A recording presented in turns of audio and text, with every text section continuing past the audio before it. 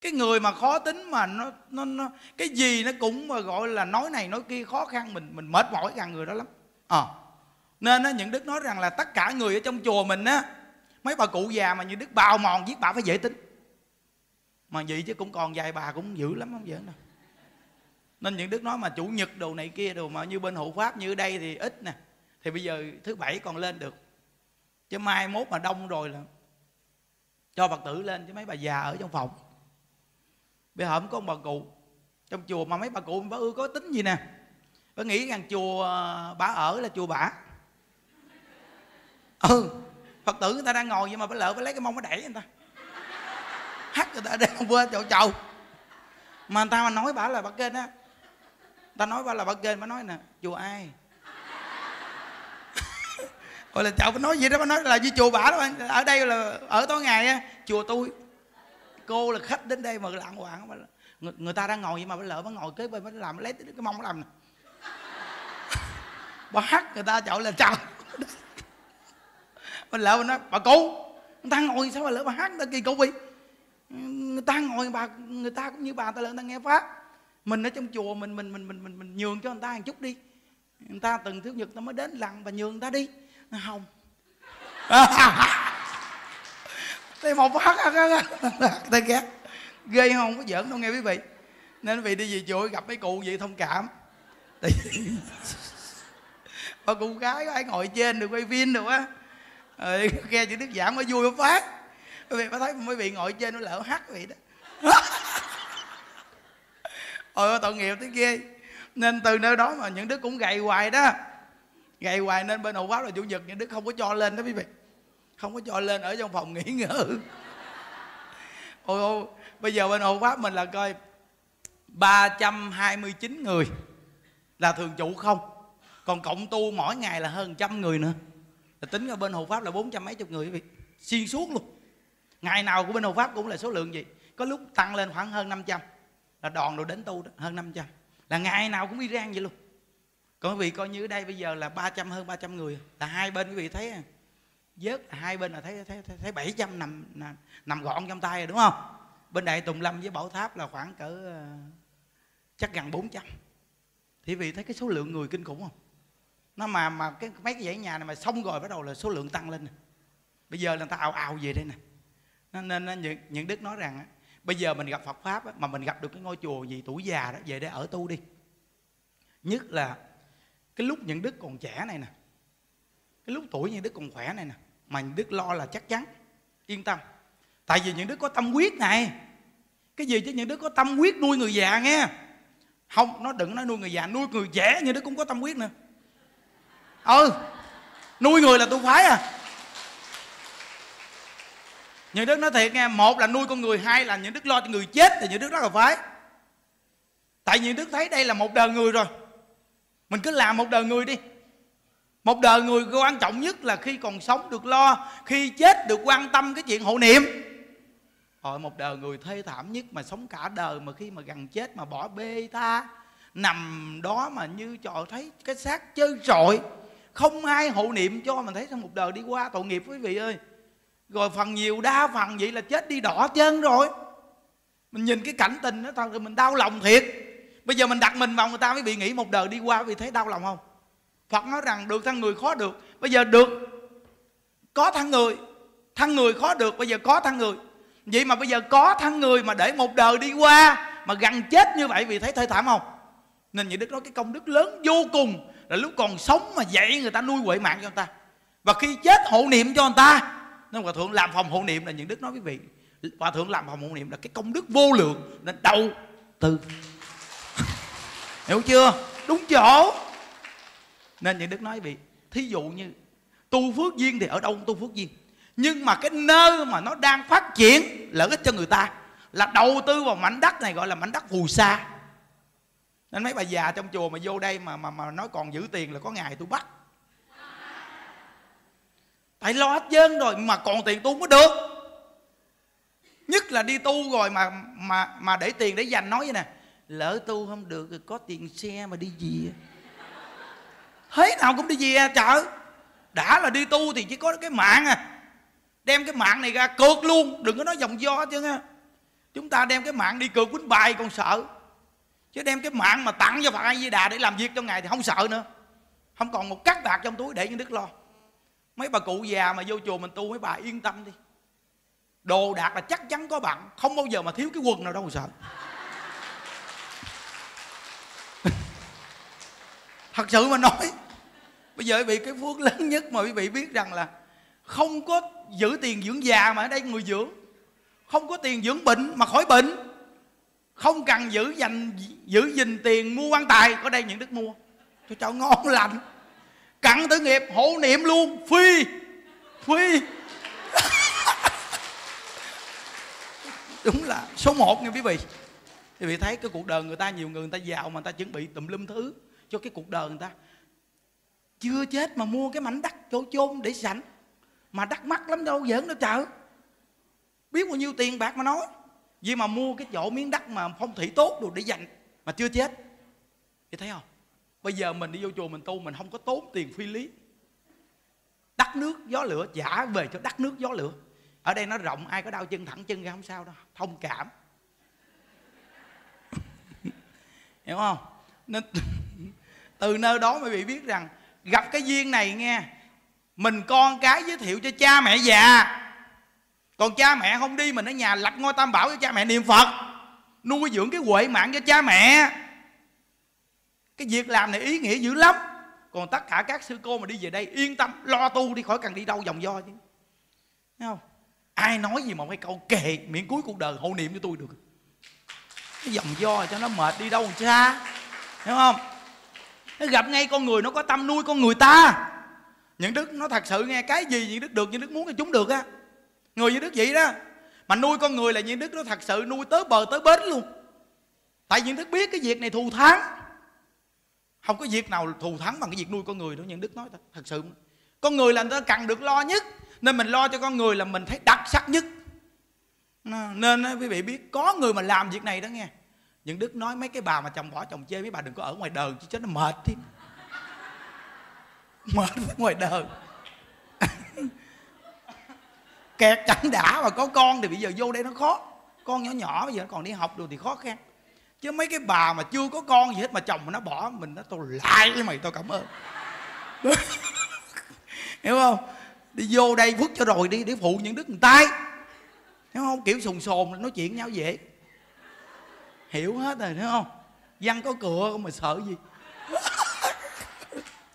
Hiểu không? Nó nên từ nơi đó mà. Vô đây, cùng nuôi người già. Thật sự mà nói, bây giờ mình làm cái vai trò này, mình rủ nhiều người làm. Một người làm được. Bây giờ đơn giản thôi, bây giờ ở đây sau này lập ra một cái cái cái cái ban mà gọi là nuôi người già khi yếu. Bây giờ quý vị, nuôi người già thì người ta phải có bệnh chứ. Bệnh yếu thì phải có người giáo lao lo lắng cho người ta quan tâm hiểu không? Chứ bây giờ mà toàn bây giờ hiện tại khỏe không không có cái cái vị trí nuôi người già mà yếu á, thì mai mốt mấy bà già yếu mới đưa bên kia, nó không có đúng. Nếu cái phòng hộ niệm này xong rồi là mấy bà cụ nằm yếu yếu á, là xuống phòng hộ niệm nằm. Để chi phải không? Chưa chết mà nằm phòng hộ niệm sẵn. Nè, nói cái nó nói cái việc mà nằm phòng hộ niệm sẵn nó lợi ích cho vị nghe nè. Nghe rồi là phái nằm. Phải hiểu mới phái nằm nghe. Đừng có sợ cái phòng hộ niệm là cái chạm tiếp dẫn về cực lạc mà sợ gì? Mà cái nơi cái phòng hộ niệm đó, nó có cái quay lực lắm. Như phòng hộ niệm mới xây thì chưa quay lực đâu. Quý vị muốn có cái quay lực cái, cái phòng hộ niệm hộ pháp á vô là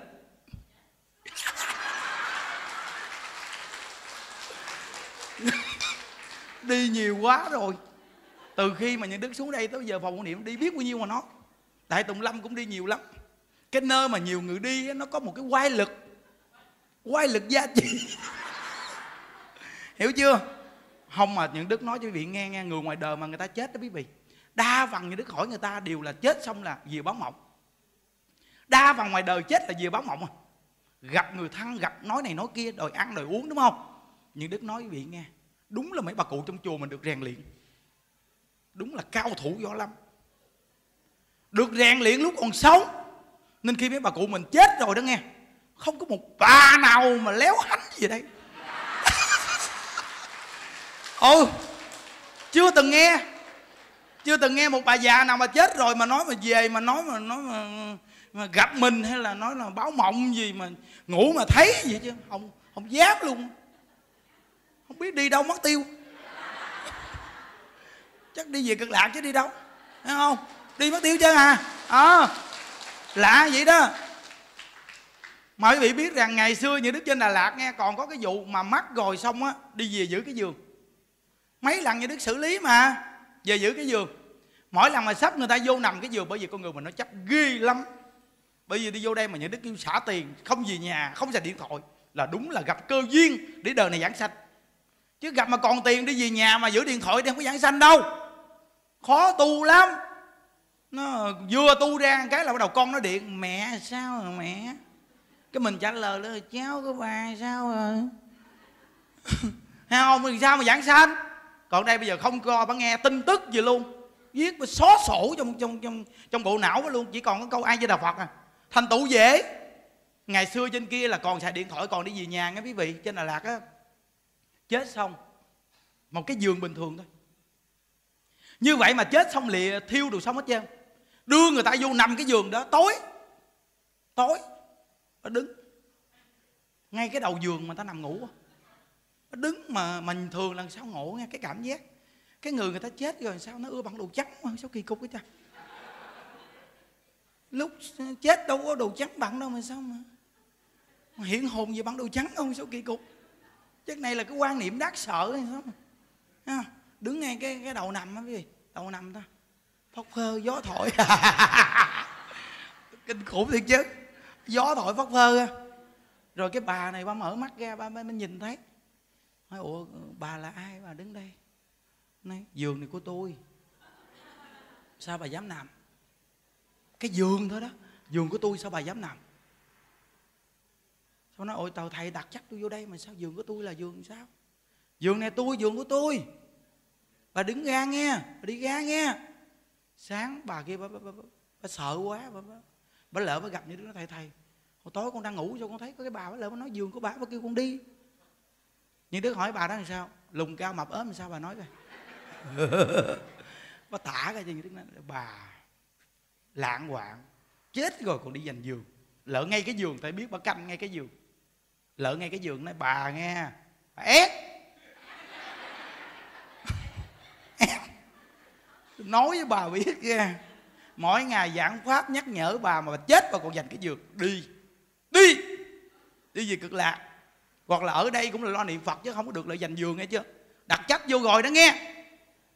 Từ đó vì sao? Không dám. Không phải giỡn đâu nghe. Ừ cái vụ này là nhiều lần. Lúc trước có một người này tu mà nhiều chục năm, quý vị. Như đức kể câu chuyện này nhiều lần rồi. Một cái nhà vệ sinh. Tội tạo bà xin làm cái nhà vệ sinh cho bà. Bà xin hoài, thấy công nghiệp bà cho bà làm kế bên nhà sinh xíu xíu. Bà mắc xong rồi quên thiêu cái y quý vị. Tối bà chở về bà nói nè. Bà nói với cái mấy, mấy cái người mà đưa, đưa đi thiêu bà nói nè. Sao cái y tôi sống đốt luôn đi mà để làm gì à? Xong á người ta đi vô cái nhà sinh đó ta đi á ta rửa không sạch á. Tối cái gì bà, bà nói vậy nè. Ủa đi vô nhà sinh tôi sao rửa không sạch? Đó là tu nhiều chục năm đó nghe.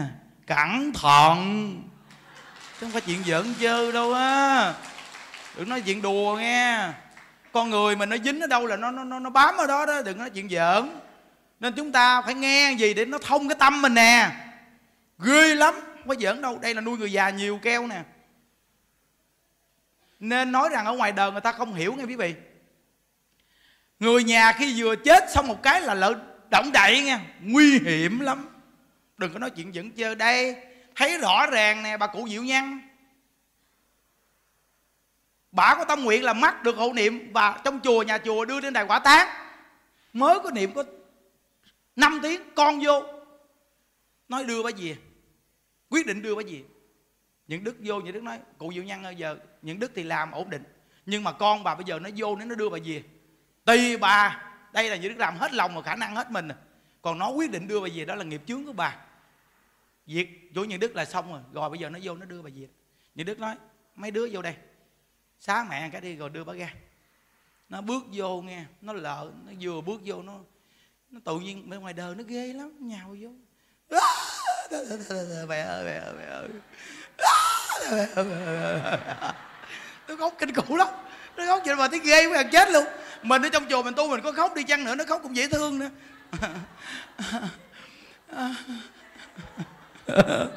à, mẹ ơi mẹ ơi. Con nói vậy nè. Mẹ ơi mẹ ơi mẹ làm thấy ghê chỗ là trời. Làm giả dối mình làm kỳ cục hơn cái gì nữa.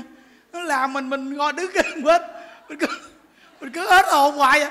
Tại vì nó chơi nó chơi như ca dòng cổ mà. Nó làm nó làm mình hết thơ nữa chứ. Nó giống như nó hết thơ nó dùng sức á. mẹ ơi mẹ ơi mà nó là nhỏ nhỏ xuống kìa. Mẹ ơi mẹ ơi mẹ ơi mẹ ơi mẹ ơi. Thứ khóc gì mà khóc vô duyên cái bụng mình nó khóc gì kỳ cục quá. Chứ nó xạo khóc kỳ cục. Cuối cùng cái gì biết? Nó vừa đưa cái mặt gần bả bả đang chết thì trong chùa mà thường nhắm mắt gì miệng khép. Nó làm vậy làm như cái linh thức mà chưa đi mới 5 tiếng chưa đi. Bởi vì nhà đức nói nghe chết ở ngoài đời mà mà đi, mà coi mà hai, ba tiếng đi liệm, trời kinh khủng lắm. Vì sao mà ngày xưa không lão vô tử ngài nói rằng là vì sao hoàng ba ngày, để lại ba ngày là sao thì biết không? Vì thương người thân. Vì có những người ta chết rồi ta sống lại. Hồi dương sống lại. Nên thương người thân mà để vậy đó. Hiểu chưa? Bây giờ mình hai, ba tiếng mình đi liệm đi rồi xong mình nói rằng là là bây giờ ngày tốt cho con cái sao tốt? Vậy bà ơi mình vì mình mà sao tốt được? Mình mình không có gì cha mẹ. Mình vì mình. Mình vì ngài tốt cho mình làm sao tốt? Mình nghĩ cho mình tốt rồi mình quên cha mẹ. Vì làm sao mình tốt? Cái này năm sáu tiếng hộ niệm nghe mà con nó vô nó khóc lóc gì quý vị. Tự nhiên bả quý vị biết không gì nè? À, là trời thấy ghê thiệt kinh khủng không? Bây giờ quý vị cứ ngồi quý vị, quý vị bây giờ nhìn những đức bình thường nghe. Quý vị là như là con những đức đi. Những đức là người chết đi mà con những đứa nó lợn nó xạo nó khóc không? Những đứa đang đang được hộ niệm đang nhắm mắt. Cũng uh, tơ, tơ, chết mặt tốt tương đối. Xong nó lợn nó khóc khóc khóc cái linh thức nó vẫn còn. Ai lại gia thức là cái thức thứ 8 á là tiềm thức của mình nó vẫn còn. Cái linh thức nó nằm ở trong cái lại gia thức đó. nó chưa đi hết. Thì vì biết rằng là nó làm gì thì động đậy người ta nói rằng là cái dương còn không đụng dụng đụng đụng thân thể cái giường còn không được đụng vào mà. Đồ đạc cái người mới chết cũng không được đụng vào. Họ chấp, họ tham, họ nói lòng sang, họ đỏ. Nên kỹ dữ lắm.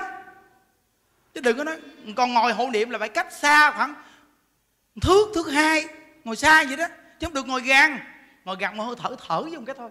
Quý vị biết rằng khi mình sống như là bình thường, khi mình chết rồi, cái linh thức mình nó yếu lắm. Chỉ cần một cái tác động âm là một giống như một sấm sét vậy thổi cái như bão tố vậy đó, hiểu chưa? Thì ba hồn chính biến nó nó nó nó, nó tản mát. Nó không có được lợi ích. Thì vị biết rằng người ta phải ngồi xa khoảng mét hai để ngồi niệm phật. Mà hộ niệm nó ngồi nghiêm túc chứ không phải ngồi mà. Hoặc là xì. Chỗ là cháu. Cái này là kẹt lắm cái này là lỡ thì phải chịu thôi tại vì cơ thể thân tứ đại phải chịu. Chứ bây giờ đúng cái vô đó là quy tắc đó nghe. Còn ngứa là phải cố gắng chứ không có được mà gọi là không phải gì đâu vô hộ niệm mà gãi mà nghiêng qua nghiêng lại nó động cả cái cái, cái vàng của người ta đó. Cái linh thức nó rất yếu chỉ cần động một cái là động cái cơ thể họ liền động tới tâm thức liền. Nó kinh lắm chứ không có giỡn đâu trời. Mình nói là nghiêm túc vô hộ niệm đây là việc mà gọi là cái việc quan trọng của đời người hiểu chưa? Mình nghe mình phải nhớ mình phải kỹ cái vụ này nghe chưa? Nên người ngoài đời không có biết không có biết.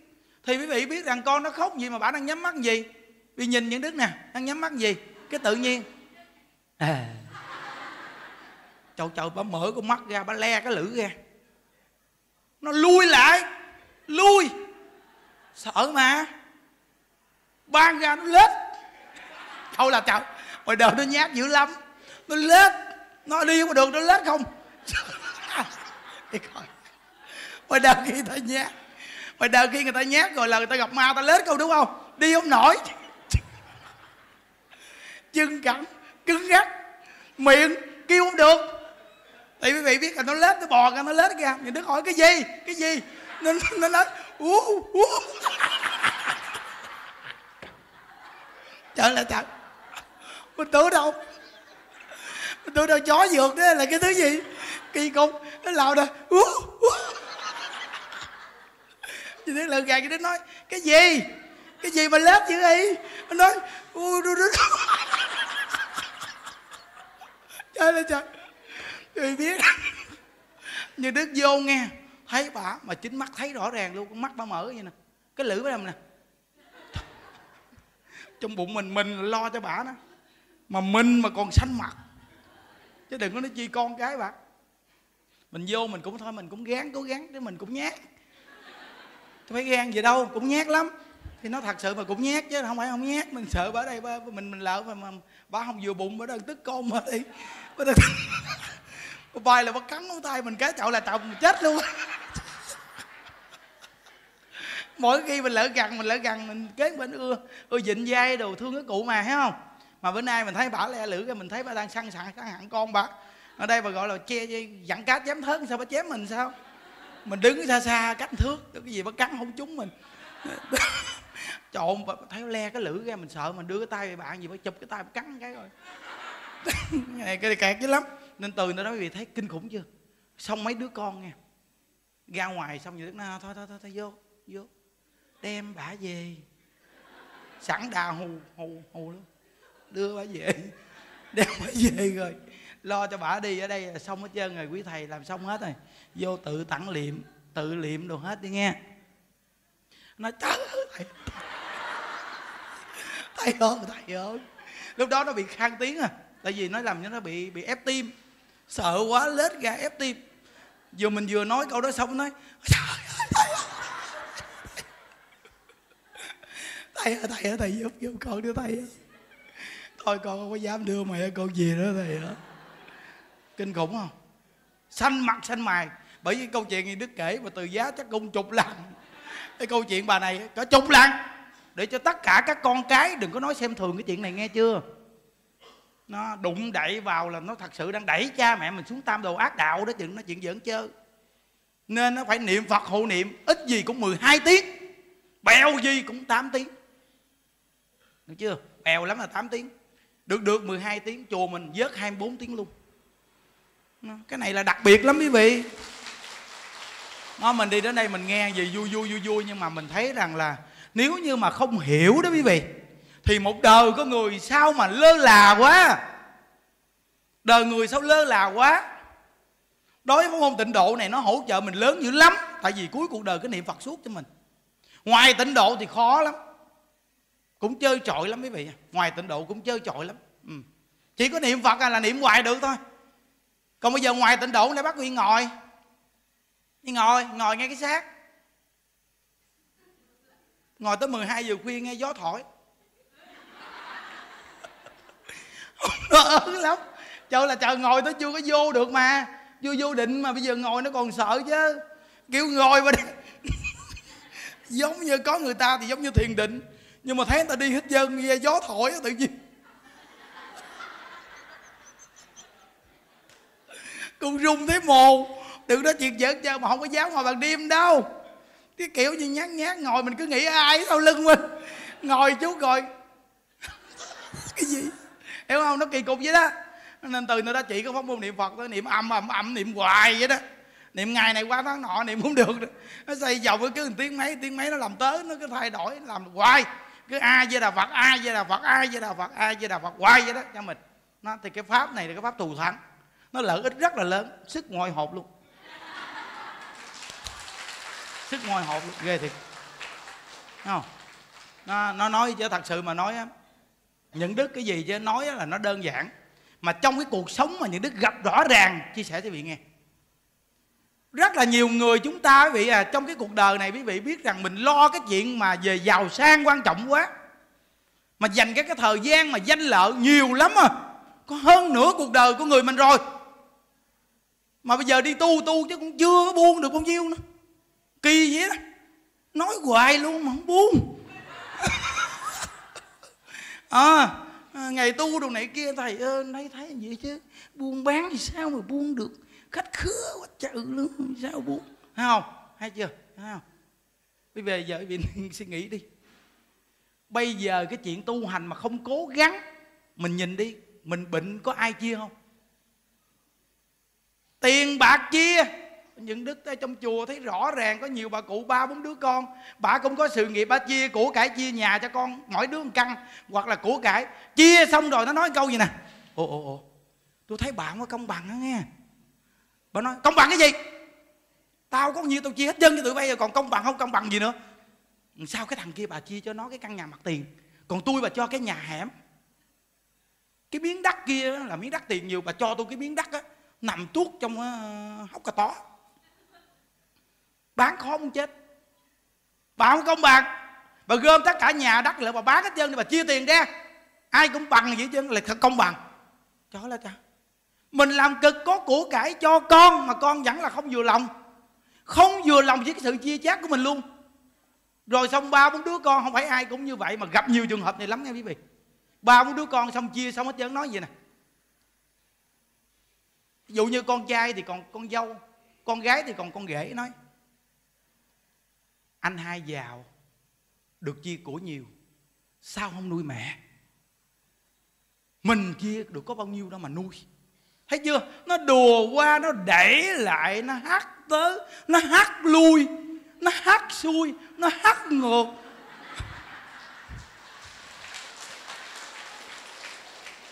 Già rồi đúng là thê thảm đúng không?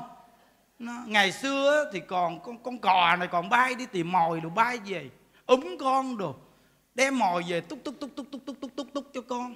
Con mở miệng ra con. Hả miệng? Mồi nè.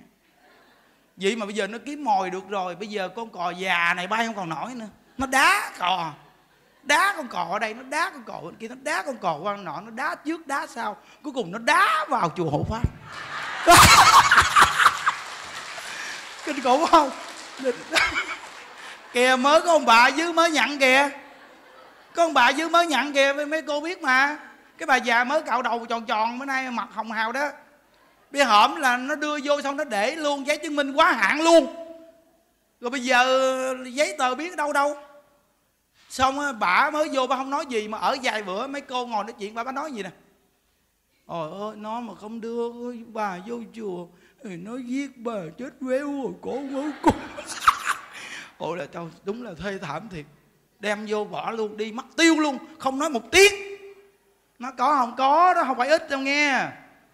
Không phải là bà già nào cũng là, là, phát tâm vô chùa tu đâu nghe quý vị. Cái người mà thật sự phát tâm vô chùa tu mà là giác ngộ ít lắm. Cái người mà hoàn cảnh đi vô chùa tu nhiều lắm. Nếu mà không có cái buổi giảng nhân đức mà mà mà, mà bào mòn cái tâm á là mấy cụ buồn khóc suốt à. Đây nuôi người già nè 11, 12 giờ khuya tôi đi lắm nè. Tôi là chơi giờ linh một mười hai giờ khuya tôi đi tôi coi tình hình coi làm sao. Tôi đi. khi mà đi mà mình mình mình mình, mình quá trang luôn. Quấn khăn đội cái nón chùm lại. Còn hai mắt. Mình đi mình đi. Vòng vòng mình coi thấy có mấy bà cụ ngủ ngay sao? Có khi mình đi lủi lủi lủi mình thấy một bà già đen thui ngồi ngay cái gốc cây. Mình mình cũng sợ mình tưởng nó ma. Mình đi đến gần gần mình coi thử là ai mình tự nhiên mình mình mình vừa đến gặp mình nghe mới làm nè. Trời trời, cái gì? Hết thường ma mình đi mưa khóc thì biết không? Mình nói chứ không lẽ là ma trời sao kỳ cục. Mình cũng, mình sợ nhưng mà mình ưa cái kiểu mà tò mò, mình coi cái cái ma thiệt ma giả mình lỡ gần mình nghe. Con ơi sao đành lòng bỏ mẹ với con ơi đà, người ta người ta còn sống để mình ngồi kế bên. Mình ngồi cụ bà nói, hả hả, ai? Thì mình quá cha quá, đâu thấy mặt mày, đâu sợ quá. Mình lỡ mình vỗ vai bác cái nói cụ cái là á ai? Nói, thầy nè, con. Trời ơi, đến nói chuyện với bà thì nói ra hỏi han cái gì? Tại sao mình cứ thuyết pháp hoài cũng được? Là cái tính này đức nó thích hỏi chuyện. Nhiều chuyện, nhiều điều nó hỏi nó hỏi nên nó giải tỏa được cho người ta. Hỏi này kia rồi hỏi rồi xong. Giải tỏa, chỉ dẫn người ta. Rồi xong bà mới đưa bà về phòng cho bà ngủ. Rồi bắt đầu là sáng đem câu chuyện đó kể cho mấy bà già khác. Nó từng câu chuyện câu chuyện mà kể ra bắt đầu con người ta ở được ở trong chùa. Nó thông cái tâm, nó cởi mở cái tâm, nó được ở trong chùa. Trời, cái này là cái trường hợp này là như Đức gặp nhiều lắm. Không phải là cái chuyện mà giác ngộ đi vô chùa tu đâu quý vị ơi. Nhiều cái là hoàn cảnh nhiều lắm. 10 người là nó nằm chiếm ưu thế bảy người hoàn cảnh à. Mới đi vô chùa tu. À, nên nó cái người thế gian người ta nghĩ mình đi tu là giống như hết thời quý vị hơi thảm á. Ừ đa phần luôn ta nghĩ đi tu là chắc là đây, đây, đây cái dạng cái dạng ăn không ngồi rồi làm không ra trò chống gì. Đó. Nên thí dụ như mình có con cái mà nó không hiểu đạo đó quý vị có khi con cái nó nói ồ mẹ mẹ sao con thấy mẹ ngộ với mẹ? Sao mà mẹ có tiền bạc mẹ không xài đi, sao mà mẹ cầm tiền lên? Mẹ mẹ mẹ đưa cho mấy ông thầy. Con thấy mấy ông trẻ rồi, sao mà mấy ông không làm ăn cái gì chứ mẹ? Không làm ăn cái gì chứ mà mà sao mẹ đem tiền đưa cho mấy ông chi vậy mẹ? Nói vậy đó. À nó có một lần, ngồi kế bên luôn. Xong cái đầu, bà mẹ bà cúng dường. Thằng con kế bên nói nè, thầy thầy, con hỏi thầy này, thầy đừng có buồn nha thầy. Đừng nói đâu có gì đâu, buồn hỏi đại đi à, giờ con thấy thầy còn khỏe quá mà sao mà mà thầy không làm làm ăn gì chứ như thầy?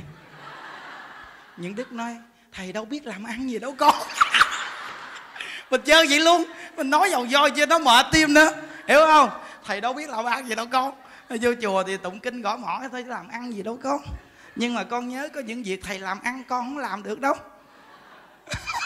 Hiểu không? Cuộc đời con người con ơi. Có nghĩa là cuộc đời con người là có những công việc á mà người ta làm được mà con làm không được. Mà có những việc mà con làm được mà thầy làm không được. Nên chúng ta trang trải nhau mà sống. Cũng như cái chuyện đơn giản thôi. Mẹ con đi vô đây ở được, mà mẹ con đâu có chịu ở với con. Là chuyện này thầy làm được mà con làm không được. Đúng không? Đó. Mình á, mình hạ cấp nhưng mà mình dãy một phát nó rớt. Hạ cấp mà dãy một phát rớt luôn rồi bây giờ con ở nhà con làm ăn cái gì? Rồi con nuôi được mấy bà mẹ? Nó thầy, thầy này chơi sốc à. ha hỏi mình làm ăn cái gì? Nó làm giám đốc chứ gì? Nó là gì ờ, làm giám đốc mà nuôi được mấy bà mẹ? Im gu những đức nói nuôi một bà đúng không? Nếu mà ngon ngon thì được hai còn ngon nữa thì được ba. Nói làm gì mà mẹ nhiều dữ vậy thầy? Nói thì một bà mẹ đầu tiên cứ về. Một bà mẹ thứ hai là chôn. Một bà mẹ thứ ba là thêm nữa. Hiểu không? Con nuôi ba bà mẹ đó có chừng con nằm chèo queo đó con. Một vợ thì nằm giường lèo, hai vợ nằm chèo queo, ba vợ xuống chuồng heo mà nằm. Đúng không? Bây giờ con nói thầy không có biết làm cái gì, con vô coi bao nhiêu bà già thầy nuôi, bao nhiêu bà mẹ còn con con làm ngon quá, con nuôi được mấy bà mẹ? Nên cái thông điệp này gỡ đến cho tất cả những người hữu duyên nghe. Làm ăn được có tiền nhiều, nhưng hãy nuôi một bà mẹ mình cho thật tốt. Nhớ. Thí dụ như bây giờ quý thầy quý vị nhìn họ không làm ăn gì được cái gì. Quý vị có tụng được hồi kinh như họ không? Có tụng một bài chú như họ có khi gia đình có người mắc quý vị mờ họ đến tụng hồi kinh đúng không? Quý vị phải đi mời đó nghe. Đó, quý vị coi cái cái làm ăn của họ có những cái mình làm không được, đúng không? Rồi bây giờ những đức không cần làm gì chân nhưng mà những đức lễ bồ tát quán thế âm, bao nhiêu con người được lễ? Những đức đem những buổi chia sẻ Phật pháp này, bao nhiêu con người được nghe? Rồi bản thân của mình đi làm như vậy mà mình nói cho được cho mấy người được lợi lạc. Hay là mình chỉ có kiếm được một phần tiền nào để nuôi một người vợ và một hai đứa con của mình thôi. Nên có những việc mà quý thầy làm mà bản thân mình thật sự là mình không có làm được. Nhưng có những việc quý vị làm mà quý thầy không có làm được. Không phải là quý thầy làm không được mà chuyện đó quý thầy không làm. Hiểu không? Nếu mà quý thầy làm thì quý thầy đi cưới vợ rồi. Đúng không? Đó nghe chưa? Nên phật pháp nó có lý luận sâu sắc lắm quý vị. Mình gặp những trường hợp không phải mình cãi cọ với người ta. Mình chỉ lý luận là người ta nghe người ta hiểu rồi. Tự nhiên cái đứa con nó nó, nó bừng tỉnh lên nó nói ồ con xin lỗi thầy thật sự mà nói trong quan niệm của con thật là tiêu cực thầy. Con nghĩ rằng quý thầy còn trẻ như con tức mẹ con con cứ cho tiền bả. Mà bà không chịu mua gì ăn, nhưng mà đem tiền mà đưa cho thầy. Bây giờ con mới hiểu, con mới hiểu là bà hiểu hơn con. Thấy chưa? Đó. Nên á, mình làm cha làm mẹ mà con mình nó có tư tưởng tiêu cực đó, mình nên dạy con mình mình nói cho con mình nghe. Để cho con mình nó nghĩ nó tội lỗi á. Nó nghĩ không hiểu nó tội, thấy chưa? Vì thấy cái cái câu giải đáp những đức cho vị nghe đó mà nhiều người ta nghĩ vậy lắm quý vị. Nó, mà cả bản thân những đức ngày xưa chưa đi tu cũng có cái nghĩ vậy nữa đó quý vị. Sau này càng đi tu mình mới hiểu ra, thì ra là con người mỗi người nó có phước báo quý vị ơi. Không có phước nó không có gì đâu. Khi nó có phước báo dày, quý vị, bỏ đâu này nó có đầu kia.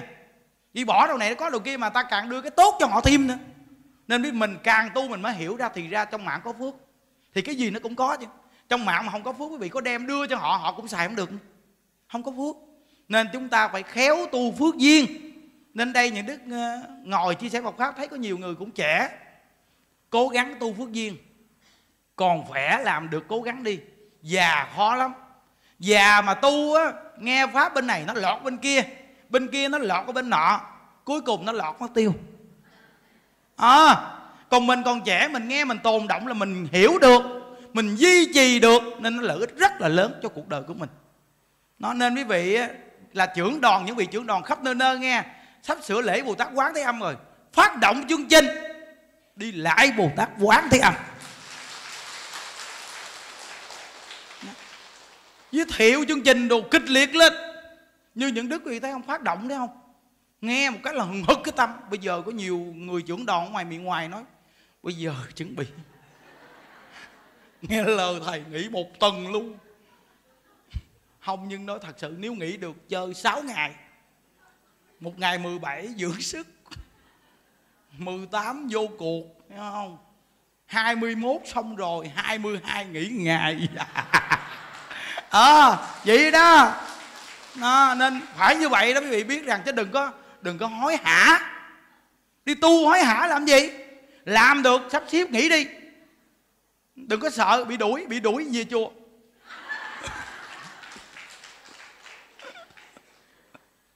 Bây giờ cho đức nói với mày nghe kìa bây giờ mà nói chồng mà nói lạo hoạn nói ông không nói nữa nha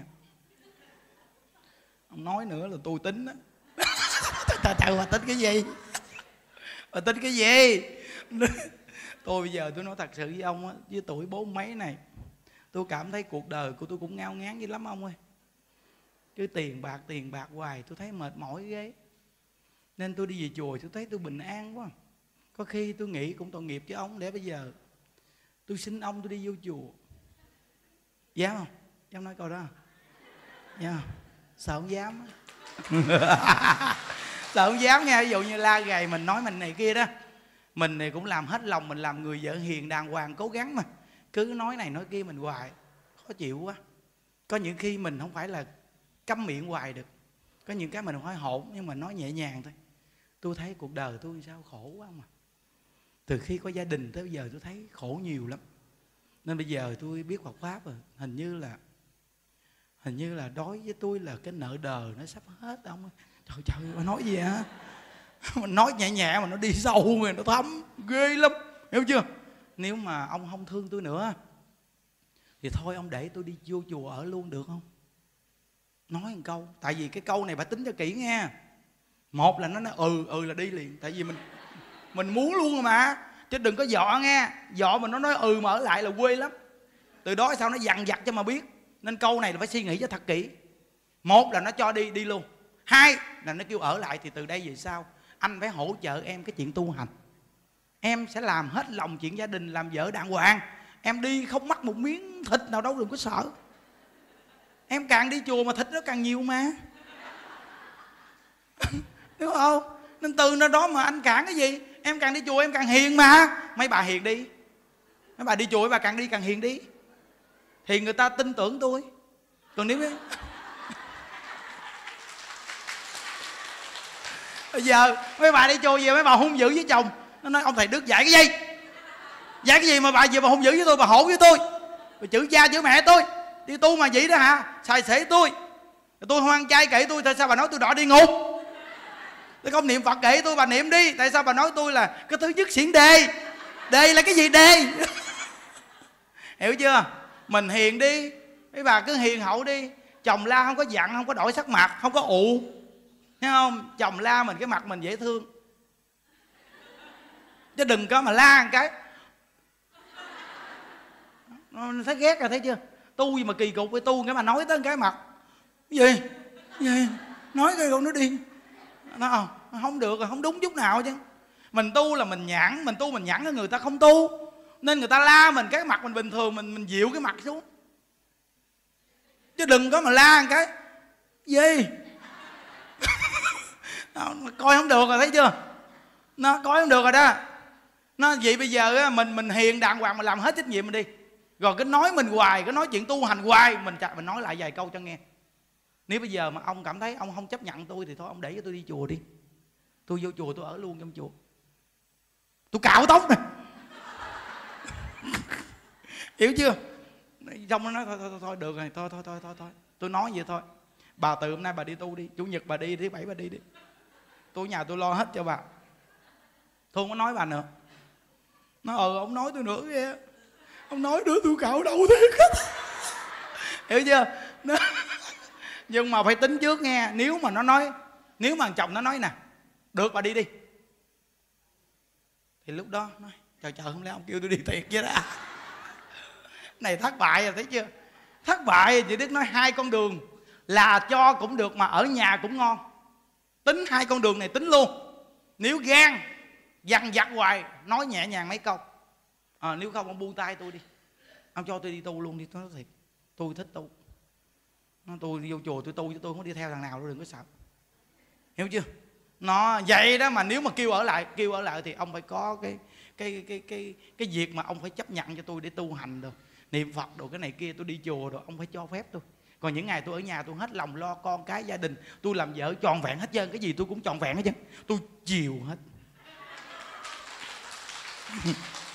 Chiều hết, thấy không? Nói tu tu cho chiều lắm, chiều hết tại vì mình hiểu trả nợ mà. Mình đã hiểu trả nợ mình phải chiều chứ đâu phải mà mình tu mình tu thì cái chuyện của mình tu còn nó đâu có tu.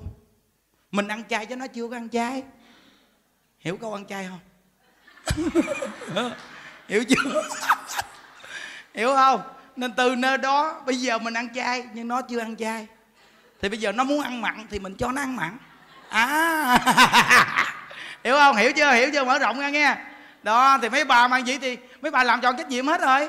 Đối chuyện làm vợ, mấy bà tròn trách nhiệm, tròn trách nhiệm hết chưa vậy những đức nhắc nhở gì đó, quý vị coi á, đối với cái chuyện gia đình quý vị quý vị về áp dụng học pháp vào gia đình quý vị, rất là đặc biệt. Chúng ta bây giờ biết tu rồi, tin hết, hoàn toàn nhân quả hết. Đến với cái cuộc đời này, thật sự mà nói, nó vô thường lắm, nó đi bất tử lắm. Nên chúng ta sống làm sao mà ngày nào cũng vui đi, quý vị. Đừng có buồn nghe, đừng có buồn để sống nghe. À nó dù gặp nhau chưa có cho nhau một cắt gì đi chăng nữa, nhưng mà đừng có buồn để sống.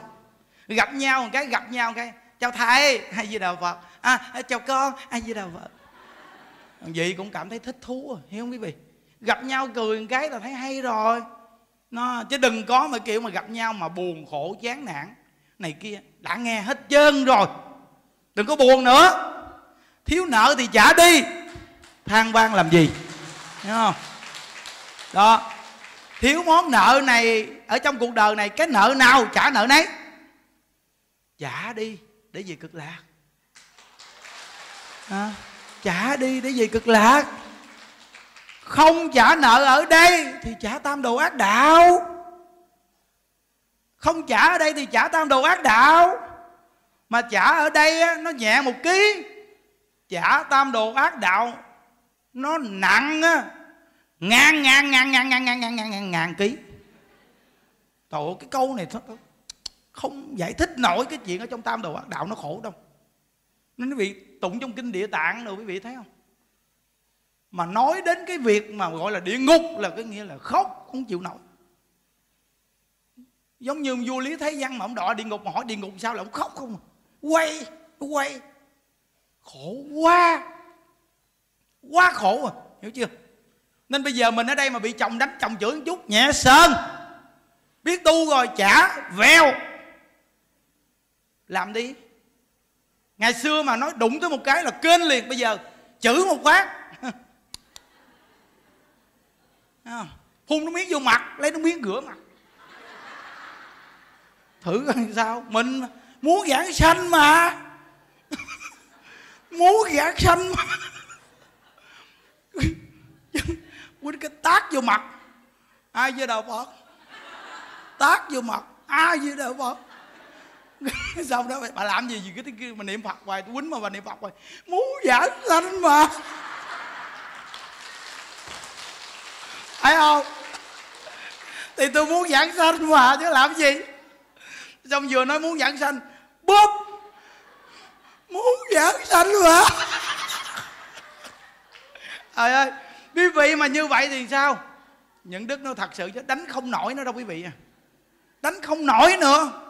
Bây giờ đem cái mạng này trả luôn. Xả cái mạng luôn để về cực lạc luôn. Dám không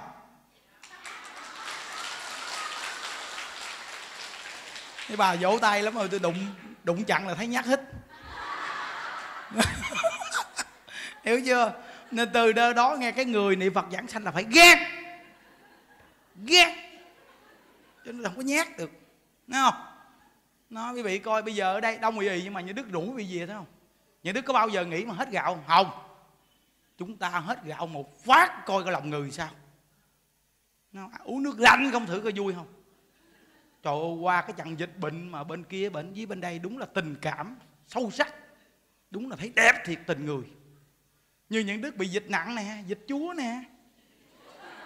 Dịch chúa nè bị dịch thở không nổi nghe. Niệm phật có dễ đâu nghe.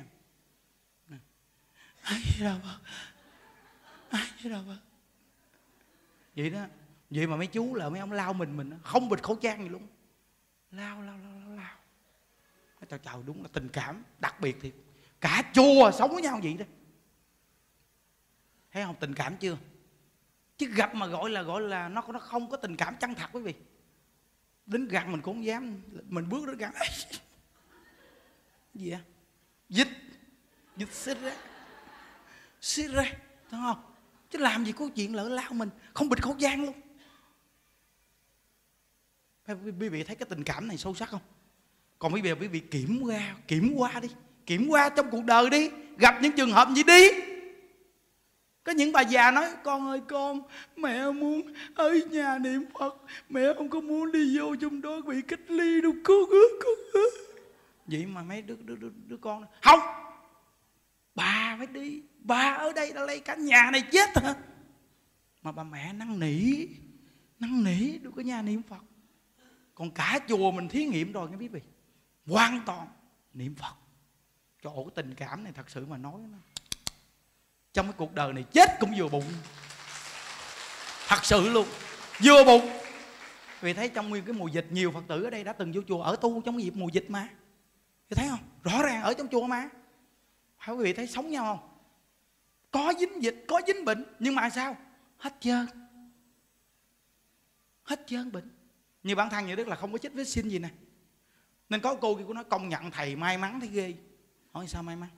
Bệnh mà may mắn, nói thầy không chích vaccine hỏi sao à? Nhiều người chích bây giờ quên tùm lum. Thầy nhớ dai ác đạn nó tạo là tạo. Đúng là trong cái rủi có cái mai. Không biết sao mình gan mình núp. Kêu chích nó Ôi, không đi. Cuối cùng qua chân đâu có chích mũi nào. Bây giờ cái đầu óc quá thông minh luôn kỳ cục ghê chị ngồi nhỏ mới đẻ rồi nhớ hết trơn chậu là trời sao mà? Ồ, quý vị biết tự nhiên sao nó nhớ là hết trơn? Quý vị ơi chuyện ngày xưa làm sao sao? Cái gì cái gì nó nhớ hết trơn? Lên chia sẻ Phật pháp là nó nhớ sạch cái gì mình nhìn qua đọc qua nhớ. Chắc là cái đầu này bây giờ đang phát triển. Không bị thuốc này thuốc kia chồng quý vị hiểu chưa? Còn quý vị chích nó có khi bây giờ bị quên nhưng đức nói quên gì quên nghe, đừng có quên niệm phật nha mấy bà. Thấy chưa? Quên thì quên, đừng có quên niệm phật nghe. Nói ví dụ như, nói bây giờ, nói với chồng đó anh anh, sao từ khi chích thuốc tới bây giờ, sao tình cảm em không còn như xưa với anh? Dựa vào cái chỗ đó đấy sao em em làm như bị bị bị quên anh, sao ngộ lắm? Hiểu không? Có chuyện này chuyện kia nói, sao quên mất tiêu á cái kiểu này mà thiếu nợ người ta đó, lỡ đòi nói, ủa? Ủa? Chị thiếu nợ hả? Sao không có nhớ nghe? Từ khi bị bệnh giờ tự nhiên kỳ ghê á. Sao quên mất tiêu? À chị thiếu hả? À thiếu nhiêu? Quên mất tiêu rồi. Nó thấy chưa? Trời ơi vì thấy bây giờ không? Cái đầu này đỡ ghê. Nó nhiều cô gặp như đức nói, công nhận, thầy may mắn. Nếu như mà gặp coi ba cái chùa này mà bốn đạo vàng này mà gặp thầy quên hoài chắc chết mấy bà già. Thấy không? Nhờ vậy mà nhớ hết trơn quý vị. Công việc gì, công việc gì, nhớ khỏi cần ghi sổ. Rẹt rẹt rẹt rẹt. Tiền đưa bao nhiêu, gỡ bao nhiêu, rồi sau tiền gì tiền gì, nhớ hết trơn. Không bấm máy, bấm gì chứ bây vị biết rằng viết nghe, cộng trừ nhân chia, nhanh thế ghê chợ. Mấy cái mấy cái bà cầm máy tính kịch kịch kịch kịch kịch. Vừa bấm chưa xong vậy đức nói, con số. Trời ơi. Thầy tính hồi nào ghê vậy? Nó không biết sao, tính mau quá. Niệm phật với tính mau quý vị. Với cái đầu nhà đức không có dùng điện thoại ờ, cảm ứng, không có dùng máy tính. Thì cái đầu nhà đức phải tính chứ. Hiểu không? Rồi thuyết pháp phải tính. Tính thuyết pháp kịch liệt ngày ba bốn buổi cái đầu óc viết nó giống giống như nó nó, nó được xông ốp câu ai với đạo phật quý vị. Nên giảng hoài. Mà người ta ngồi được nghe. Hôm qua nhân đức ờ, gặp một cái cô này. Cô nước ngoài về. 68 tuổi. Mà cô ờ, thường mỗi ngày chia nghe mình chia sẻ Phật pháp. Cô ờ, nói cô sống vui lắm. Và con người sống giống như không có những cái áp lực gì nặng nề để trong tâm. Nhìn cô ờ, 68 tuổi mà mình nghĩ ờ, chắc chừng ờ, à, 48 đồ này kia tuổi này. Trẻ vậy đó quý vị. Nhìn không đón được tuổi đâu trẻ lắm. À. thì ra là một con người mà sống không có bị cái áp lực nặng nề vì vật chất. Rồi à, mình không có buồn giận hay để trong tâm. Nói chuyện thì rất là hịch hạt rất là tự nhiên nha. Mà một người vậy mình gần gũi mình nói chuyện mình cũng thích nữa à, nói chuyện là thấy thích liền à. tại vì họ nói chuyện rất là hịch hạt tự nhiên lắm. Muốn nói gì cái nói câu tự nhiên lắm không có kiểu như mà ờ, à, đón trước đón sau gì nó nó mệt mỏi. À.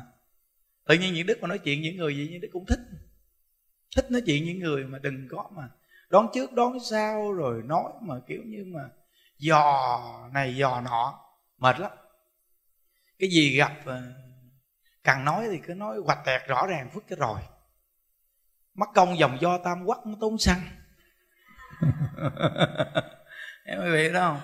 Cái cuộc sống bây giờ nó đã bận biểu lắm tìm cơm ăn áo bận đã khó khăn mà cứ dòng do tâm quắc chỉ cho nó mệt.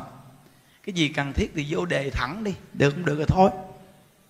Nó khỏi mất thời gian đúng không? Nên từ nơi đó mà mình gặp những người như vậy mình thấy người ta trẻ lắm nha, rất là trẻ. Vì thì những người chúng ta muốn mình à, thời gian trẻ lâu thì mình phải có cái tâm gọi là vui, quan hệ. Đi đâu cũng cảm thấy vừa lòng vừa ý đi. Đừng có mang cái tâm không vừa lòng không vừa ý hoặc là buồn ai cái để trong tâm cứ dằn vặt mình hoài. Buồn người ta là dằn vặt mình, hiểu chưa? Nên cái đại học này mới là Phật pháp áp dụng trong cuộc sống nhân sinh. Thì giờ Phật pháp dạy là dạy con người trong cái cuộc sống này. Trong mỗi một cương vị, mỗi một công việc đều Phật pháp áp dụng vào. Nếu như áp dụng Phật pháp vào thì nó thông được cái tâm. Nó giải mã những cái sự buồn phiền khó chịu và hiểu sâu về định lực nhân quả nên không có trách người làm gì. Tại mình biết rằng mình gieo cái nhân gì, mình chịu quả báo gì, bây giờ trách trách ai cái gì bây giờ? Nên tất cả chúng ta đang khỏe, sôi sỏi vậy, tự nhiên bệnh bệnh à. chúng ta nói sao kỳ, ông trời sao kỳ á. Sao tự nhiên tôi đang khỏe là bệnh? Rồi có những người, mình đang khỏe, tự nhiên đang khỏe cũng chết chết à. Mình nói sao kỳ cục của người, sao tự nhiên mà chết thì chết, mà trẻ gì mà chết, ông trời sao ông kỳ cục vậy? Không có mắt hay sao mà tự nhiên người ta đang sống khỏe gì tự nhiên chết. Nhưng mà mình hiểu về định luật nhân quả, thì mình tin con người nó có số mạng quý vị. Có những người, con người nó số mạng đến rồi, quý vị nhìn họ rất khỏe. Nhưng mà tự nhiên ngủ đêm chết. Hoặc là rất khỏe, đang đi đi vậy, dấp té, đụng cái đầu vào cái lu, cái bụp, chết queo. Còn có những người mà thọ mạng chưa hết, xe tông cái rầm, rớt vô hàng rào, dội ra, rớt vô cái cây dội ngược rớt xuống sông cái chùm lội lên đi. Bình thường không chết đâu gì chứ. Đó là thọ mạng chưa hết thấy không? Thọ mạng chưa hết sao chết? Còn khi thọ mạng nó hết rồi nó chết kỳ cục mình thấy mà trong cái cuộc đời này, này nhiều người chúng ta thấy rõ ràng mà. Có những người mà bệnh bệnh nặng thấy ghê mà không chết là không. Còn có những người bệnh nhẹ sơn mà chết. Có những người nói cái một chút xíu vậy đó thấy bình thường, tự nhiên chết. Vậy coi nhưng ngày xưa những đức à, có ông anh thứ hai. Ông nói mùng một chút xíu à. Ngay cái cổ này chút xíu à. Cái đưa xuống bệnh viện, cái người ta thấy một cái chút xíu chứ không sao đâu. Mà tự nhiên người ta lấy ngay ổng ta mổ thí nghiệm. Ngộ ghê. Bao nhiêu con người không mổ thí nghiệm, mổ ngay cái ông này. Lấy ông cả mổ thí nghiệm. Tự nhiên ngay cái cái ca bệnh ông này ta lấy ta mổ thí nghiệm. Mà ngay cái mục ổng là cái mục độc cái kéo chứ cần dao chứ cần đụng nhẹ vô cái thôi là bắt đầu nó nó phát triển rất là mau. Thì vì biết rằng là phạm nhẹ vô cái thôi. Một tháng rưỡi sau từ cái mục nhỏ bằng ngón tay út vì mà nó bự bị lớn nè. Nó bự bị lớn luôn. Rồi bắt đầu là nó rút cơ thể của anh từ ở dưới nó rút lên hết lên trên đây. Nó càng ngày bự to to to ra. Rồi người nhìn như là người gì ấy, kỳ cục lắm. Rồi đi đến cái chết luôn. Mà từ cái một mụn nhỏ xíu thôi mà thành cái gì đó nên quý vị thấy trong cái cuộc đời này nó bất chợt đúng không nên chúng ta đã hiểu định lực nhân quả chúng ta không có khổ với trong cái cuộc đời này nữa bây giờ chúng ta khỏe chúng ta cứ sống với khỏe chúng ta bệnh chúng ta sống với bệnh chúng ta đẹp chúng ta sống với đẹp chúng ta xấu chúng ta sống với cái xấu chúng ta được chồng thương yêu thì sống với chồng thương yêu còn chúng ta bị chồng đánh thì sống với cái kiểu chồng đánh còn chồng bỏ thì sống với kiểu chồng bỏ đúng không còn không có chồng thì sống theo kiểu không có chồng kiểu có chồng là kiểu gì kiểu có chồng là cái kiểu sống tự do. Hiểu không? Mình muốn à, đi chùa thì đi chùa. Mình muốn đi tu thì đi tu. Hiểu không? Mình muốn đi chơi thì đi chơi. Không có chồng mà. Hiểu không? Có ai ràng buộc quý vị đâu. Quý vị là người quyết định. Hiểu không? Không có chồng, không có con thì quá tự tại. Nhưng mà không nghe được Phật pháp đó thì không có chồng, không có con thì cảm thấy cô đơn buồn cô đơn và tức tối khó chịu bực bội. Nó nên nếu mà cái người mà không chồng không con mà họ nghe một pháp họ dễ tính lắm á. Họ dễ tính và họ thấy họ là người giống như không có nợ nần đàn ông. Còn nếu như mà mình mà sống với cái cái cái, cái xã hội người ta không hiểu á mình không có chồng không có con người ta nói mình là, là thứ ác ôn nó nói là cây độc không trái mà gái độc không con. Vì mấy bà sư cô chắc độc lắm.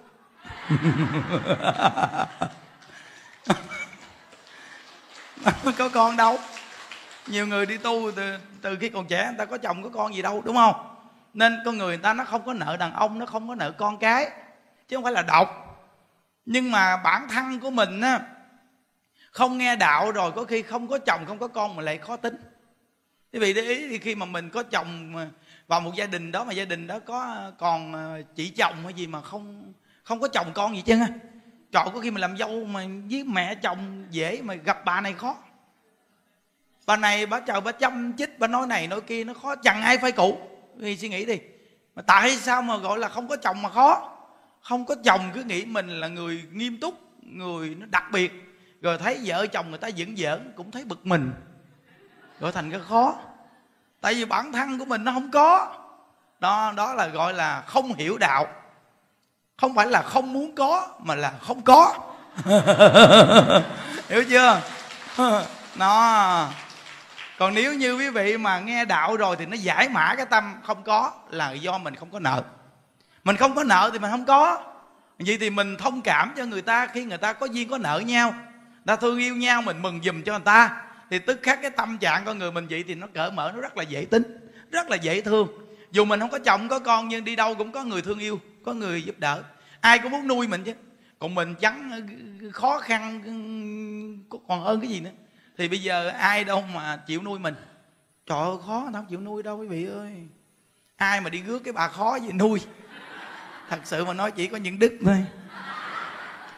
Rước thí, rước đại đem gì không có coi dãy coi gì chứ cái đụng đâu lụm, rước đem gì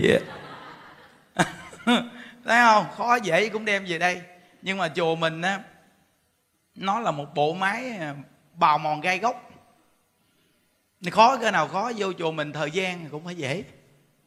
Nên, nên mấy bà cụ bà bà nói những đức rằng là nanh con có dài cỡ nào thì thầy cũng cắt được. À, nó nói như đức vậy đó.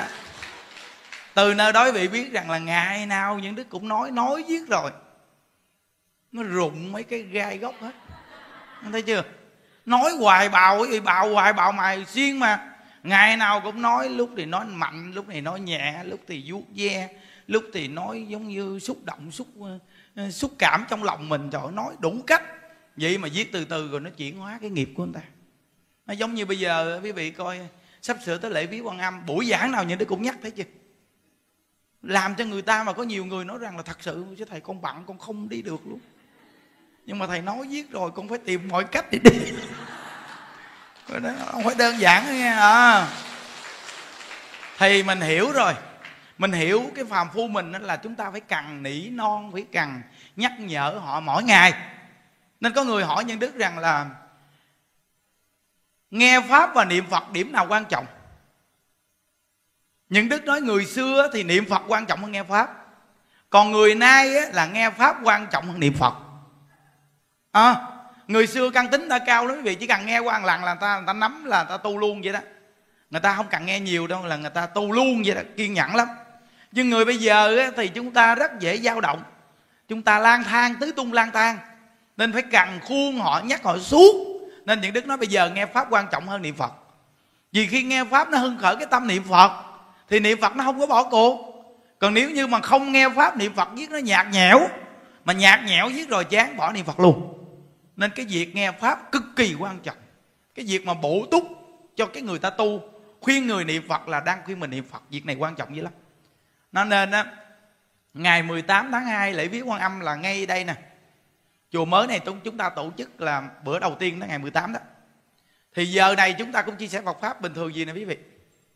Và chùa mình lễ viếng quan âm bây giờ là đông đông dữ lắm. Nên từ nơi đó cái thờ khóa buổi sáng chúng ta cũng khó lễ Phật được lắm nên những đức cũng lấy cái buổi sáng niệm địa chung xong chia sẻ Phật pháp một chút. Những đức nghĩ rằng con người rất đông về chùa, nên mình nhắc người ta những cái căn bản quan trọng nhất khi người ta vô chùa. Tại vì nhiều người trưởng đoàn người ta dẫn người mới đi nữa. Mình nhắc người ta làm sao mà mình kích thích người ta mà. Người ta đi về chùa mà người ta có một số quy tắc mà người ta hiểu. Để còn người ta tu người ta được sự lợi ích. Chứ bây giờ kêu lên lễ phật, họ lễ mà họ không biết cái gì á. Còn mình thì mình biết rồi, mình muốn lễ cho nào mà không được. Nhưng mà cái ngày mà lễ lọc mình thì chia sẻ Phật pháp về nhân sinh cho người ta nghe. Nó quan trọng dữ lắm. Có những người ta về chùa người ta không muốn lại quan âm ta đi chơi thôi. Mà ta nghe mình nói chuyện xong ta lại. Ta hiểu được cái việc lợi ích làm sao mà lại quan âm. Lợi ích làm sao mà niệm phật. Lợi ích làm sao mà nghe pháp. Từ nơi đó mà ta phát tâm ta tu luôn. Này quan trọng lắm. Nên á, hàng phật tử khắp nơi nơi, thí dụ như chúng ta đến trước đi. Trước vài ngày rồi chúng ta qua chùa mới này nè còn với các vị quen thì dễ à. chỗ nào vị cũng biết vị ghé chứ. Còn cái người mà người ta mới mới ha đi thẳng tới đại tùng lâm. Xong chúng ta qua chùa mới này luôn. Có thể sáng 17 chúng ta đông người thì chúng ta cũng niệm Phật rồi chia sẻ pháp một chút. Ê, sáng 18 mình nó lộn. Sáng sớm 18 á ngày 17 thì về đây tu bình thường. Đòn đòn rồi về đây cái chỗ ở sẵn hết xong sáng 18 là chúng ta khi ngồi niệm Phật một chút rồi chia sẻ Phật pháp một chút. Rồi 8 giờ 30 sáng này là chúng ta niệm Phật, chia sẻ Phật pháp luôn. Rồi phóng sanh cũng lý thực. Rồi chiều 1 giờ 30 thì chúng ta cứ vậy mà làm. Tối lại thì chia sẻ Phật pháp xong. Chúng ta lễ 500 danh hiệu Bồ Tát Quán để làm tại đây.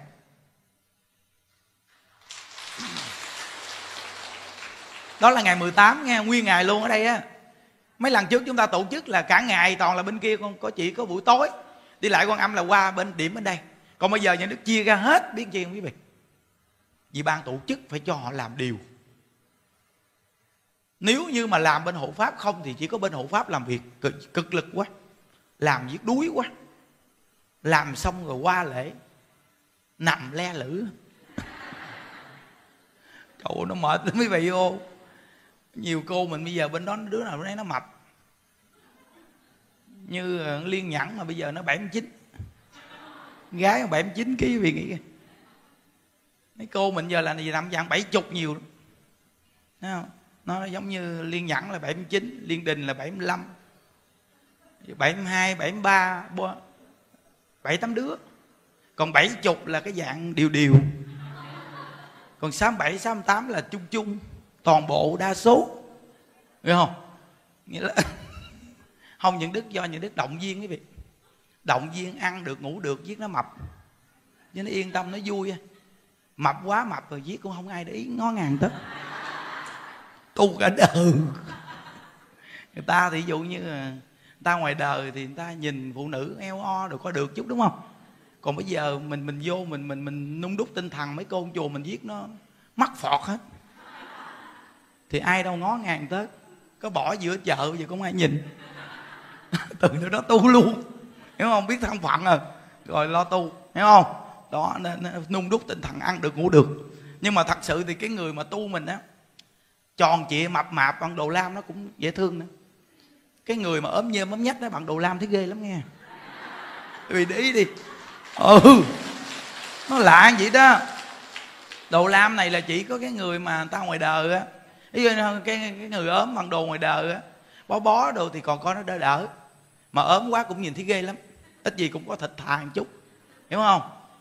Còn cái người bằng đồ tu á, là ít gì cũng phải mập mạp. Thì bằng đồ tu tự nhiên người ta nhìn thấy nó muốn tu. Còn cái kiểu mà tu mà trong chùa mà ăn chay niệm phật giết mà nó ốm nhơm da bọc xương mà bằng đồ lam mà nó đi mà gió bay ấy phật vơ phật vơ đi. Đi trời trời nó đi giống hình là là ma cà rồng nó đi vậy đó người ta nhìn cái là người ta nói tu tôi thấy an lạc cái gì, chờ chờ. An lạc gì đâu mà nhìn gì đâu mà thấy ghê. Da bọc xương mà đi gì, gió thổi bay bay, kỳ cục quá. Người ta không có tu.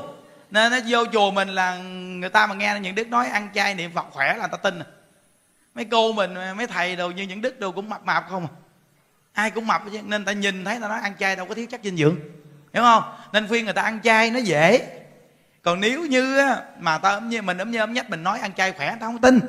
Nó nói, khỏe cái gì mà khỏe? Chợ là chợ tôi nhìn ông mà tôi thấy gớm. Rồi da bọc xương đi, gió thổi bay bay mà khỏe gì chợ cả nhóm từ thầy cho gì nhìn thấy ghê. Đi gì đâu mà xương sốc không? Kỳ cục, hiểu không? Là tự nhiên người ta không có tin là ăn chay khỏe đâu. Nhưng mà ta vô chùa mình ta thấy rõ ràng ăn chay khỏe. Người nào cũng khỏe khoắn mập mạp, da thịt đầy đủ, mỡ cũng có chút địch. hiểu không? Đó nên từ nơi đó mà ngày 18 là chúng chúng ta tổ chức giếng âm nguyên một ngày ở đây. Khắp nơi nơi quý vị nên tập trung về để chi? Chùa mới mà quý vị. Dẫn người ta về. Để người ta về đây có nhiều người người ta cũng đi lên phòng ốc. Có nhiều người ta muốn ở luôn ta đi coi nghe. À, ta đến chùa xong ta đi coi nghe ta đi vòng vòng vòng lên lên. Ta bấm thang máy ta lên phòng rồi ta đi nhìn nghe nhìn. Nhìn nghe không có giỡn đâu. À. Nó, người ta nhìn, người ta coi cái phòng ốc làm sao, phòng rộng không ở có làm sao. Nhảy sinh làm sao, có khi người ta vô nhảy sinh ta còn giỏi cầu thử nữa chứ. Coi nước có thông không nữa, thấy chưa? Ta coi xong hết cái đầu ta về ta, người ta đồn. Ta đồn ra, ở mấy bà già, mấy người nhiều người ta vậy đó. Người ta đầu ta về, ta nói, công nhận thiệt. Cậu chào, chùa gì đâu, đi thang máy không bà bà. Phòng rộng dữ lắm luôn nhà vệ sinh đồ trong phòng luôn mà có nguyên một khu. Vệ sinh mà mới cắt xong sáu chục cái nhà vệ sinh. Nó sạch sẽ chỗ phơi đồ kế bên tiện lắm bảo mà đồn nhau đồn nhau. Ờ, để để bữa nào tôi bà vô cộng tu thử từng từng. Tìm hiểu kỹ tính nữa nghe. Chứ tôi thấy tôi với bà già bây giờ ở trong chùa tôi thấy yên hơn là ở nhà. Chứ tôi thấy mấy đứa con mình nó không biết tu gì. Tôi thấy tôi với bà mà ở nhà tôi thấy sau này kẹt. Coi chừng nó xử tôi với bà tôi nghe thầy đức nói tôi cũng ớn nó không biết làm sao giúp á. mình ở nhà là nó có chừng nó, nó khi mà mình sắp sửa chết nó nắm tay nắm chân nó kéo nó giật mình. Hiểu không? Rồi xong mình mình, vừa chết cái nó nó nó hỏi ờ, coi coi ngày giờ hai ba tiếng sau nó liệm luôn. Lúc đó kẹt chứ lắm nó liệm liền. Tại thường là vậy đó. Rồi bắt đầu là mình à, à, cái cái đám của mình là sát sanh. Nó đãi người ta đồ mặn nó chấp điếu. Rồi mỗi tuần nó sát sanh hại vẫn làm tớ luôn. Là còn tôi với bà cái như là tiêu giống như xuống rồi mà nó còn đẩy đẩy đẩy đẩy xuống. Rồi tôi tôi ớn quá, tôi nghe để đó sợ quá. Bây giờ tôi dự định là tôi vô chùa, nhưng mà mà tôi chân cẳng nó cũng hơi yếu. Nên tôi coi chỗ nào ở mà có phòng mà có nhà vệ sinh đâu mà tôi nghe chùa mới nó có bà ơi. Nó này, bây giờ tôi với bà lại đó, ở thử thử có tình hình sao. Rồi thấy được là tôi quyết định tôi bà đăng ký nghe. Cái rủ được hai ba bà, cái hai ba bà đi chỗ già rủ già nghe. Con xôn xôn rủ xôn xôn à, có chồng thì có rủ có chồng còn còn còn chồng bỏ thì rủ chồng bỏ. Ngộ vậy đó. Nên từ nơi đó mà người ta đi đến người ta gặp cái là bắt đầu là sao? Cái là người ta từ từ nó đến ta ở.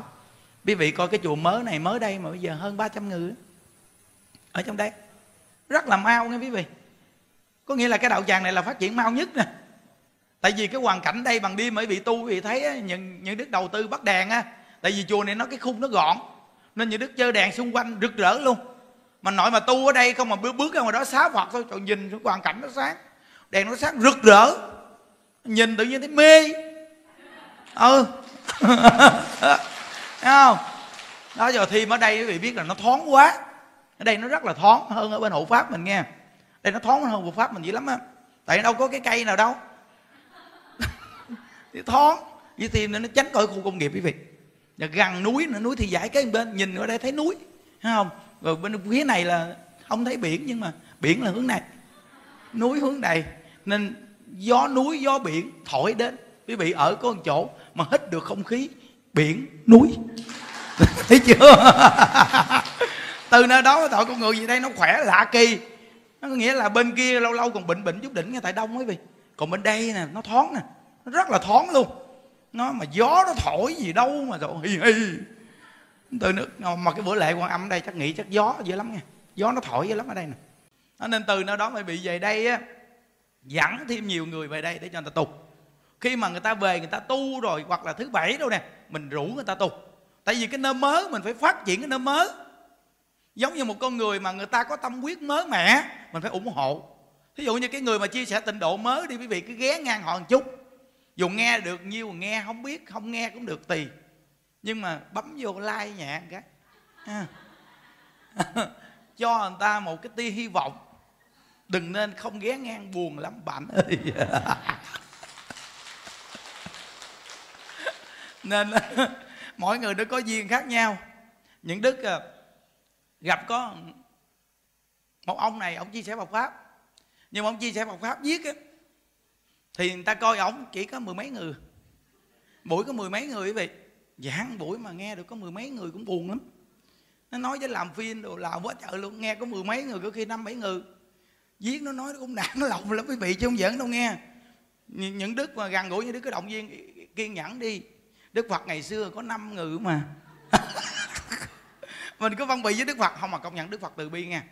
Đức phật chia sẻ một pháp ngày xưa đầu tiên chỉ có năm người nên sau này khi mình chia sẻ bọc pháp mà được sáu người là mình ngon hơn phật. Thấy không? Đó, phật công nhận là từ bi thiệt. Phật làm vậy nên con người ta có cơ hội với việc ta có cơ hội người ta phấn đấu lên, người ta cố gắng lên. Người ta không có bỏ cuộc. Đó, nên từ nơi đó mà mình cái người mà người ta mới chia sẻ Phật pháp mà có tâm huyết á, người ta kiên nhẫn lâu dài mà ít người coi quá, lâu lâu mình ghé ngang giùm người ta một cái, bấm vô một cái, bấm vô một cái, thấy tự nhiên, ô buổi giảng mình cũng được ờ, bốn năm trăm người ha cũng được quá ha. Tự nhiên trong lòng thấy cũng động viên họ cố gắng. 5 năm 6 năm sau biết đâu mình bồi dưỡng ra một người giảng tinh độ làm sao? Con người những đức cũng là được từ đó mà thành bây giờ á. Được bồi dưỡng quý vị. Chứ nếu con người mà không có cơ hội không được bồi dưỡng sao có ngày hôm nay? Nó nên tự nhiên mình bấm qua cái trang đó mình mình mình kết duyên với họ một chút xíu. Động viên họ một chút. Nó thí dụ như à, họ giảng chung chung mình nói à, thầy giảng cũng được lắm. Tự nhiên họ nghe họ thích á. Tự nhiên họ sẽ cố gắng họ giảng pháp. Sau này mới có người giúp chúng sanh. Hiểu không? Cái tâm mình gì đó cái phước mình rất là lớn.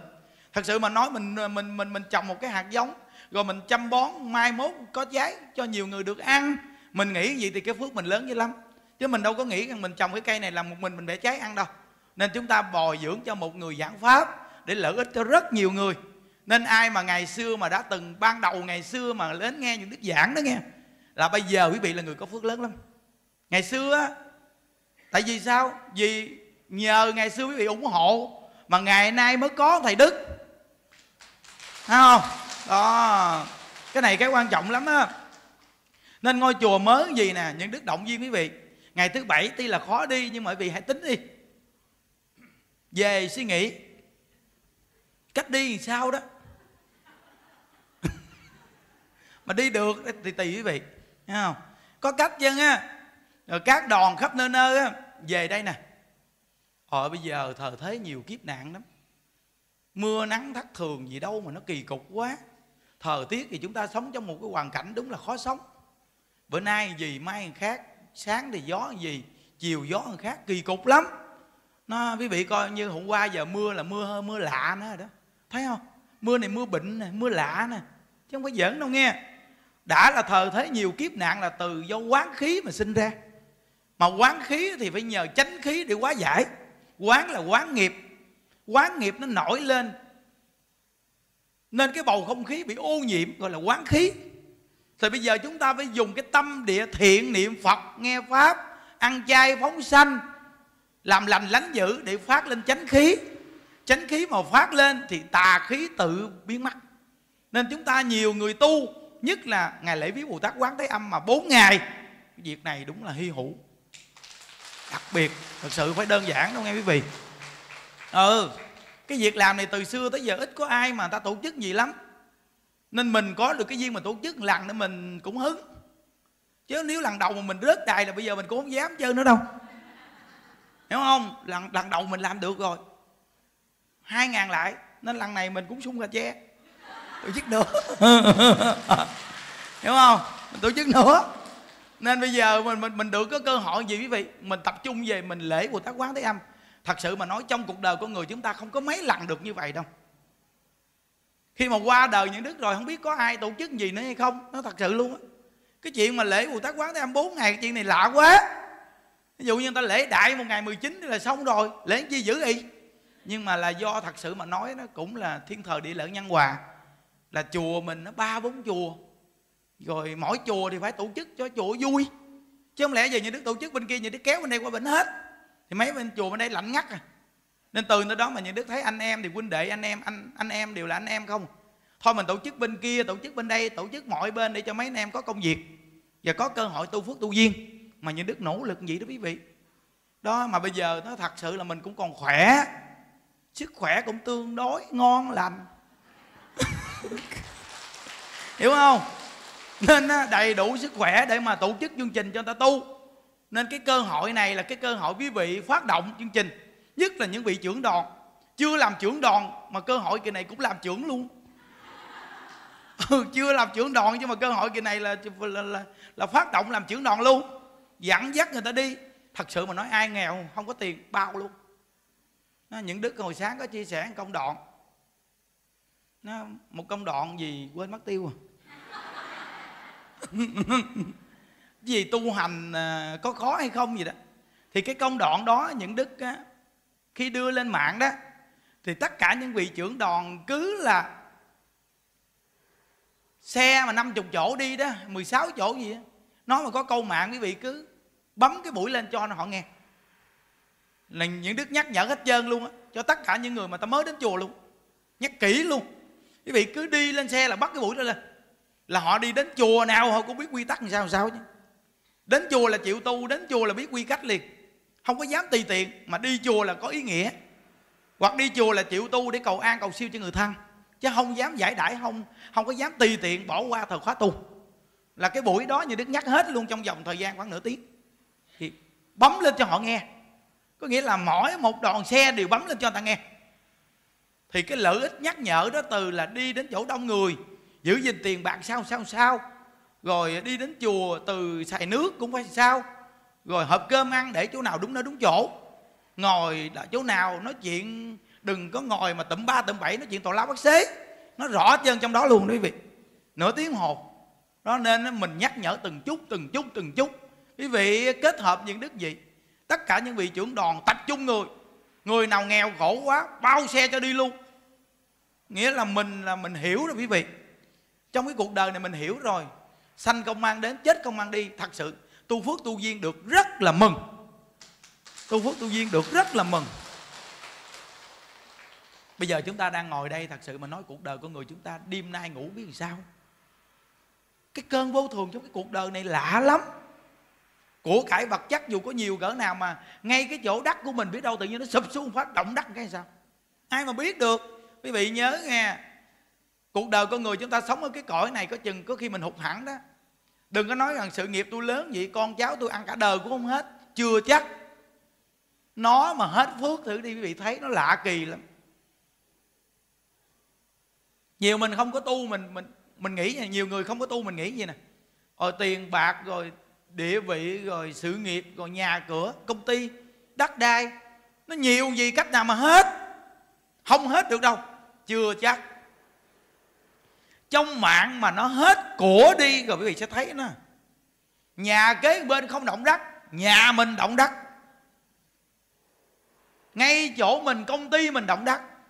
Ngay công ty mình tự nhiên bốc cháy. Chỗ mình có vấn đề, cứ chỗ mình có vấn đề, chỗ mình có vấn đề. Rồi nó làm chết người, nó làm người bị này bị kia, mình phải đền bồi.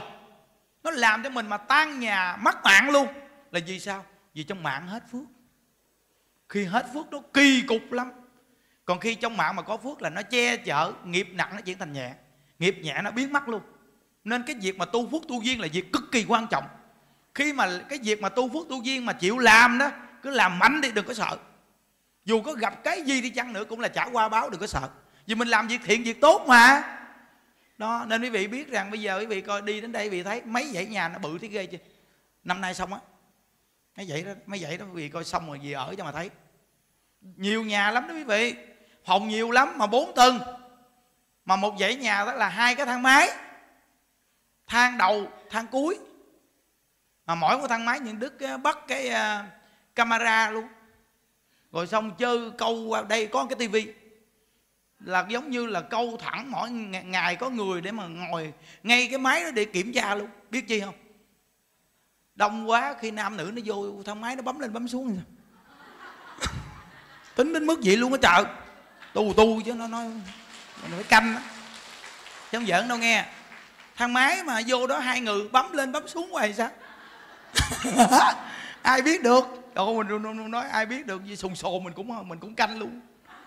Nên mình mình mình mình mình đặt, mình mình đặt cái camera trong đó, nó nó kéo đường dây điện qua đây rồi, rồi có cái máy chính nó nằm ở trong phòng đăng ký có người ngồi, ngồi đăng ký rồi ngồi trực máy luôn.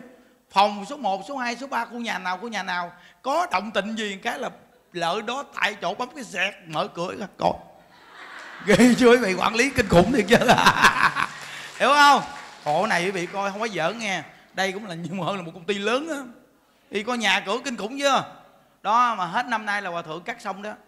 Sáng thấy hòa thượng lớn tuổi gì mà còn đi vòng vòng vòng coi mà thấy quý vị về đây tu chùa mới mà về quý vị tu hòa thượng vui lắm.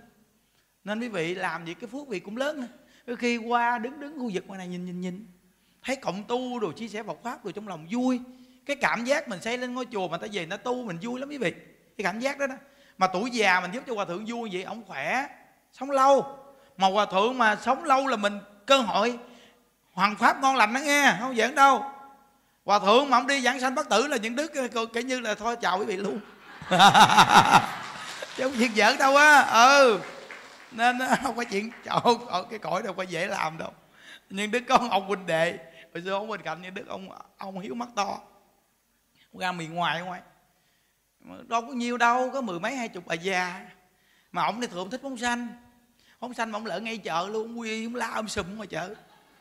Vậy mà cuối cùng nó vớt không không cho ở luôn nó, vậy mà nghe nói mà dẫn mấy bà già đi vòng vòng. Cuối cùng có phật tử nào người ta cho về về nhà ở. Thấy không dễ đâu chợ không? Chứ mình đông y yên gì? Nên được hòa thượng ngài có đức hạnh có nhân viên ở đây dày quá. Rồi ngài làm việc nó hợp tình hợp lý. Nói rồi quý vị coi bây giờ cái cái phòng hộ niệm đang cắt đó. Là phòng hộ niệm đó sau này những người ta cơ nhở đâu quý vị. Người ta đi đến đây cái dùng ở ở đây nè thị xã đâu đây mà người ta những người người ta đi à, ở xa ta đến ta, ta sống mà ta đi làm mà lỡ cơ nhở người ta lỡ có sự ngặt nghèo người ta khổ gì cuộc đời người ta đó thì ờ, đưa lại đây mình hộ niệm giùm rồi liệm giùm đi thiêu giùm. Ừ làm luôn á. Đây nè hộ niệm này là sao này dữ lắm chứ không phải đơn giản đâu nghe. Mới uh, sắp xếp nguyên một cái ban uh, ờ, mai mai táng của chùa 12 chú nó rồi sau này đây mà, mà chắc là ai ai mà làm cúng quan tài. Trời quan tài cúng ngon lắm á trời. Giỡn đâu. Bị biết bây giờ bị nó thật sự mà nói cúng cái gì mà bằng cúng quan tài. Quan tài. Hiểu chưa? Cúng quan tài. Nó bây giờ thì mỗi lần như đức mua khoảng tám chục cái. Thì bên kia ba mười lăm mà đại ông lâm mười lăm rồi bên đây năm chục, tám chục. Ở đây thì năm chục đây nhiều sao này nhiều. Nên phải có một kho quan tài kế chỗ đó luôn để dành. Chứ bây giờ không nửa đêm nửa hôm mình chạy đi tìm quan tài đâu, phải chữ bị quan tài chứ. Hiểu không? Quan tài chỗ này là người ta bán cũng rẻ nha. Quan tài được lắm, đẹp. Nằm cũng tương đối im. Và giá cả phải chăng luôn. Cái hai triệu. Được lắm, đúng không? Ôi trường đức tính kỹ lắm á, tính kỹ lắm, biết sao không? Quan tài mình lựa mấy cái cây mà nó mềm mềm, đốt cho nó, đốt dễ. Bây giờ nhiên liệu nó hao tổn thì nó làm cho bầu không khí này bị hư hoại sớm. Chúng ta bây giờ mua quan tài mà đốt cho nó cháy dễ để cho đỡ tốn nhiên liệu. Mai mốt mình hết nhiên liệu rồi, xăng dầu có đâu mà chạy xe. Nên mình dùng làm sao mà cho nó vừa thôi, miễn đốt được là được rồi. Ở ngoài sơn cho nó đẹp ở trong dù cho cũ cũ một chút cũng được. Mà được lắm quan tài này được lắm nhà đức có rồi. Nhà đức vô nằm rồi. Thử luôn. Thử luôn rồi. À, tại vì bây giờ mình muốn cho các cụ nằm là mình phải nằm trước.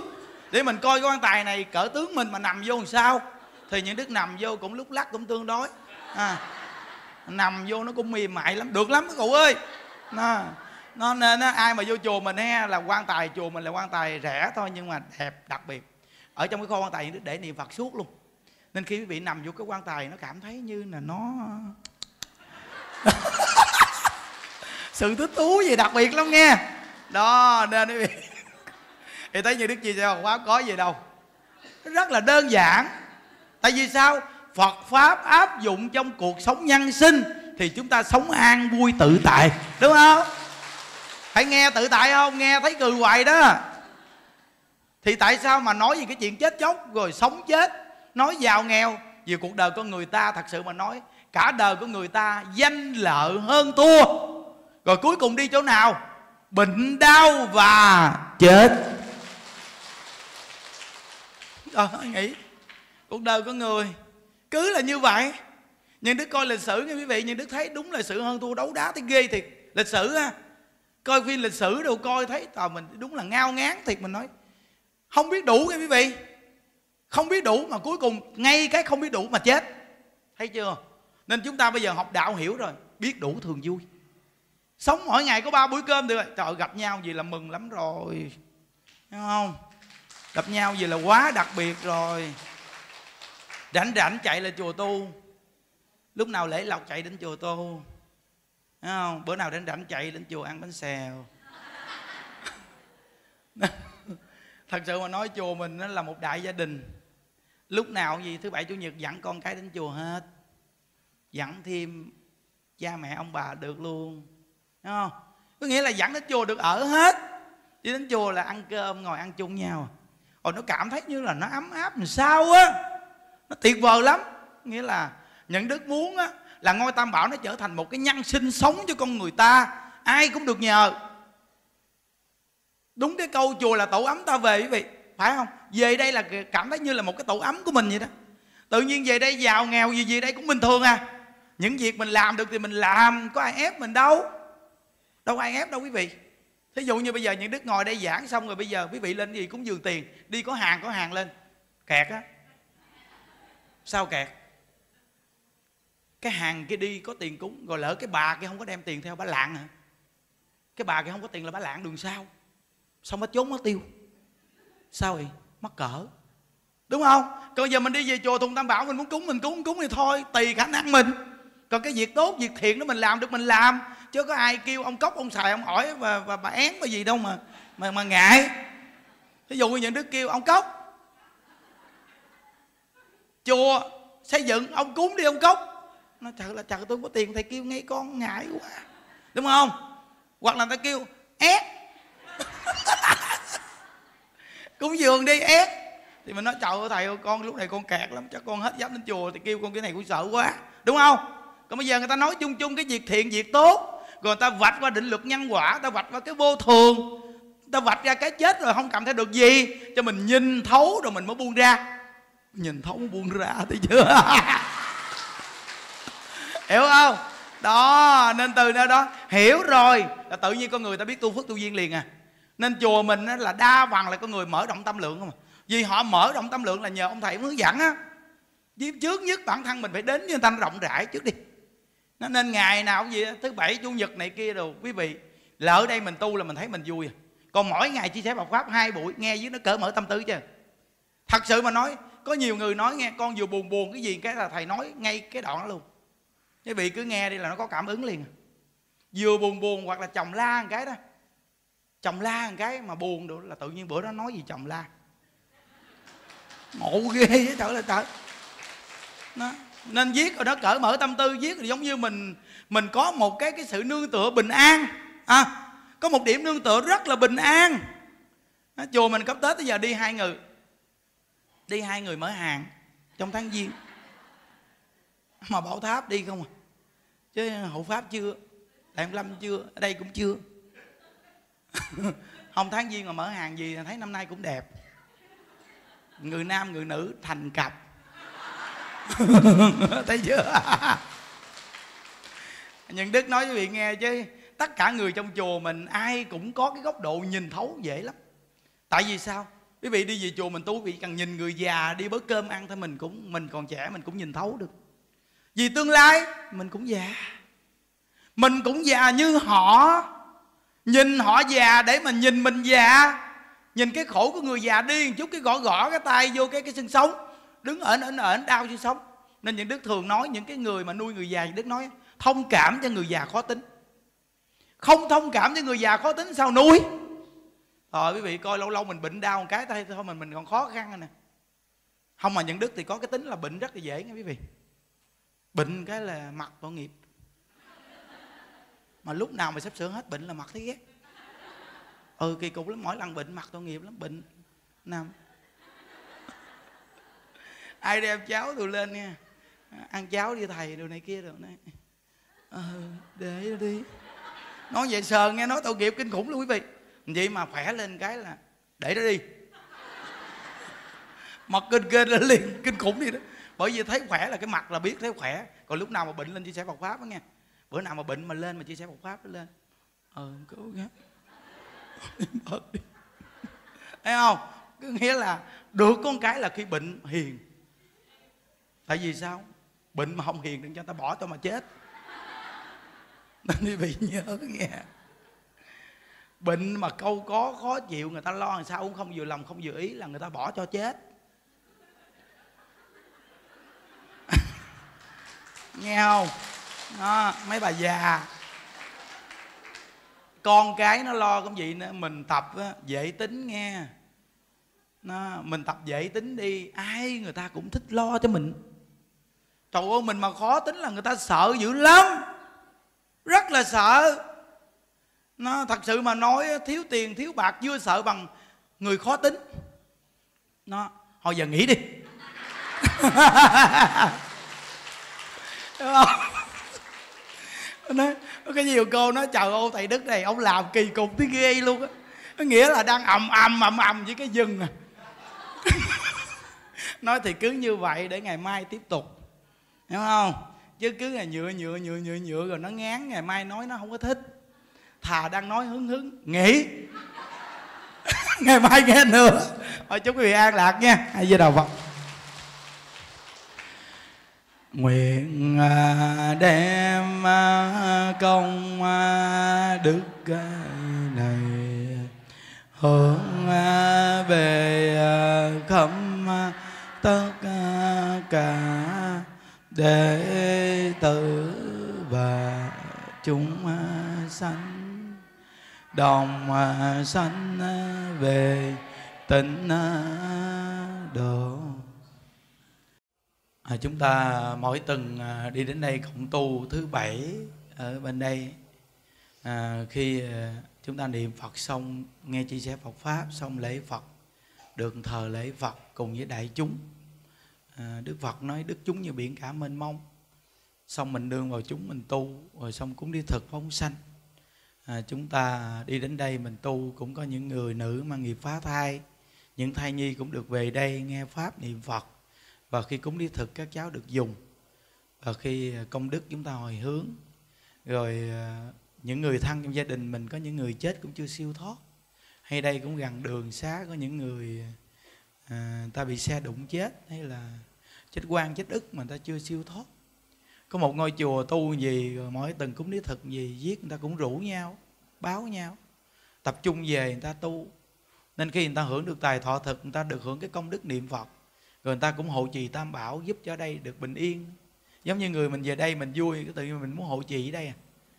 Rồi chư hương linh ta về đây mình thương yêu mình lo cho người ta hướng dẫn người ta tu cái người ta hộ trì tam bảo ở đây. À, tự nhiên người ta về đây ta nghiêm túc đàng hoàng. Mình cúng đi thực rất là nhiều đồ ăn chắc chắn rằng người ta về đây ta hưởng tài thọ thực. Và ngày nào cũng ở đây được cúng đi thực. Nên về đây tu hành hộ trì tam bảo nương một bổn nguyện niệm phật để cầu sanh cực lạc giống hệt như con người chúng ta khi mà khổ đau gặp phật pháp, nghe phật pháp mình giải tỏa được cái tâm hết khổ. Thì chư hương linh người ta khổ đau cũng do gì cái tâm dính mắc, rồi tâm hận thù mà khổ. Bây giờ nghe phật pháp nên buông cái tâm hận thù, buông cái tâm đòi nợ. Dù mình lỡ bị phá thai đi chăng, nhưng mà mình cũng nghĩ rằng đây là phước duyên mình không đủ nên mình không được sanh ra đời. Nếu như phước mình đủ thì mình được sinh ra đời, nhưng giờ phước mình thiếu nên mình giữa chừng mình bị phá thai, không được sinh ra nếu bây giờ mang tâm quán hận thì đời đời kiếp kiếp, đọa là khổ đau hoài. Thôi, hôm nay mình nghe đạo à. Nghe được bổ nguyện di đà thôi, chúng ta nương vào bổ nguyện di đà niệm phật. Cầu sanh cực lạc, buông cái tâm hận thù đòi nợ. Hay tất cả quán thân trái chủ của tất cả những người ở đây như những đức được, cũng có quán thân trái chủ đi theo. Thôi, chúng ta cùng niệm phật để hướng về tây phương cực lạc. Về cực lạc luôn luôn hưởng được niềm vui, không còn khổ đau nhớ cõi ta bà này. Nên chúng ta đem cái công đức này nguyện hồi hướng cầu an. Trên là đại lão hòa thượng viện chủ hồi hướng cầu an cho toàn thể đại chúng và tất cả à, khắp nơi nơi chúng ta đều hưởng được cái công đức này mà luôn luôn hưởng được cái tâm bình an và niệm Phật để cầu sanh cực lạc. Chúng ta nguyện đem công đức này hồi hướng cầu siêu cho cụ quyền thất tổ, ông bà, cha mẹ, anh chị em trong đời này hay nhiều đời nhiều kiếp và hương linh thai nhi, địa nghiệp phá thai, chiến sĩ chẳng vong đồng bào tử nạn thập nhị loại cô hồn ngạ quỷ hà sa hữu vị vô danh hữu danh vô vị đều được thừa hưởng những công đức này điều pháp bồ đề tâm niệm phật cầu sanh về thế giới tây phương cực lạc. Nam mô chứng minh sư bồ tát ma ha tát. Nhờ đặng phật tự chung ngã kim tý nhờ cung. Từ thực biến thập phương những tiết phật từ công. Nguyện dị tự công đức vô cập nhất tiết ngà đặng dự phật tự, giai cộng thành phật đạo như đăng ngô tình chung ngã kim tý nhờ cung những tiết hồ tình công nguyện dị tự công đức à, vô cập nhân thiệt ngà đặng dự hộ tình à, giai cộng thành phật đào.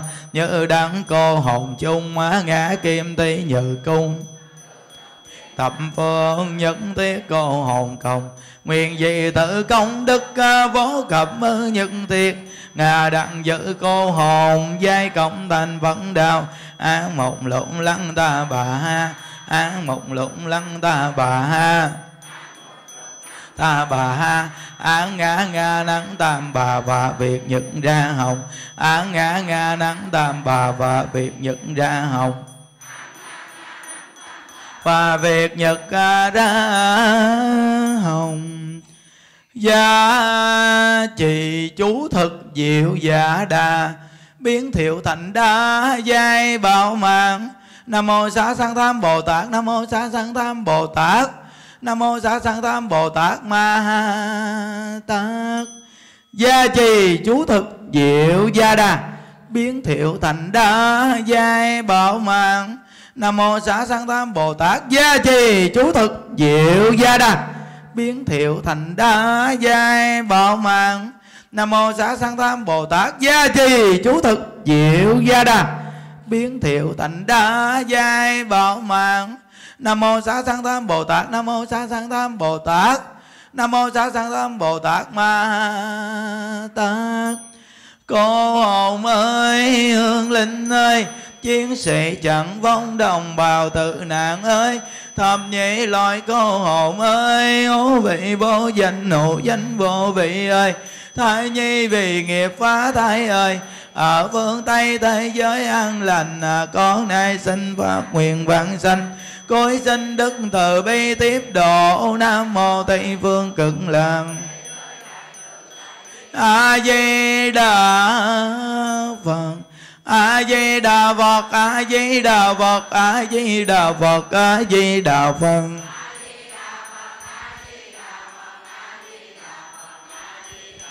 A di đà phật a di đà phật a di đà phật a di đà phật a di đà phật đà phật a di đà phật a di đà phật a di đà phật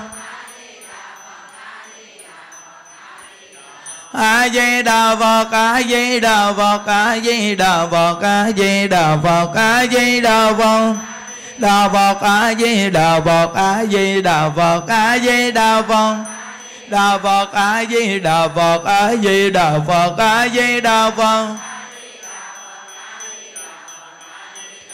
a di đà phật a di đà phật a di đà phật a di đà phật a di đà phật di đà phật a di đà phật a di đà phật à, chúng ta làm lễ phóng sanh nha à, tất cả chúng ta nghe được Phật pháp à, phát tâm ăn chay trường phóng sanh.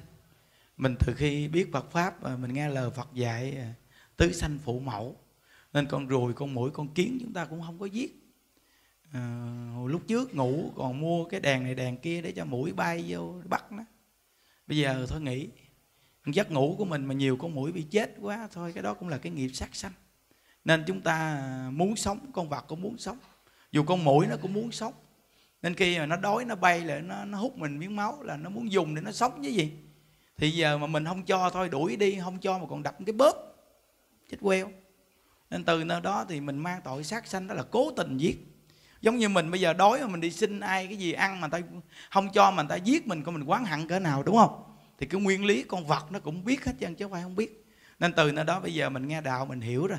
Mình ăn chay mà mình còn phóng sanh. Rồi mình không có sát sanh không có thuốc chuột hay là giết dán hay xịt ờ, mũi hay là giết con này con kia nữa. Vậy thì tự nhiên cái tâm mình nó an lạc và tính tình nó đỡ nóng giận và sức khỏe tuổi thọ kéo dài. Nhất là những người bị ung thư bệnh này bệnh kia mà bác sĩ chạy chúng ta ăn chay trường phóng sanh đi. Từ từ giết rồi quý vị thấy có sự chuyển hóa đặc biệt dữ lắm. Nên chúng ta mỗi lần chương trình khóa tu có cái lễ phóng sanh. Nên đây là nương vào hạnh từ bi của chư Phật Bồ Tát. Nên khi phóng sanh chúng ta còn quy Phật, quy Pháp, quy Tăng cho tất cả những chúng sanh này. Khi được thả ra và lỡ ai có bắt lại người ta giết đi chăng nữa không không có mang tâm quán thù.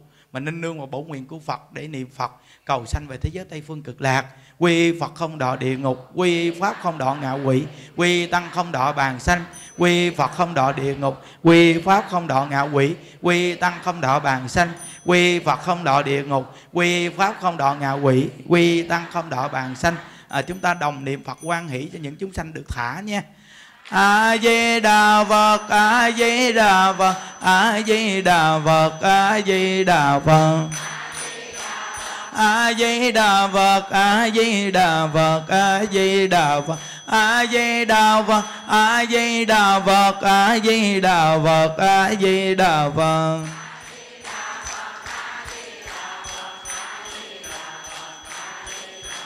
a di đà phật a di đà phật a di đà phật a di đà phật a di đà phật di đà phật a di đà phật a di đà phật a di đà phật đà phật a di đà phật a di đà phật nguyện đem công đức này hướng về công tất cả đệ tử và chúng sanh đồng sanh về tịnh độ à, chúc quý vị an lạc nha. A di đà phật.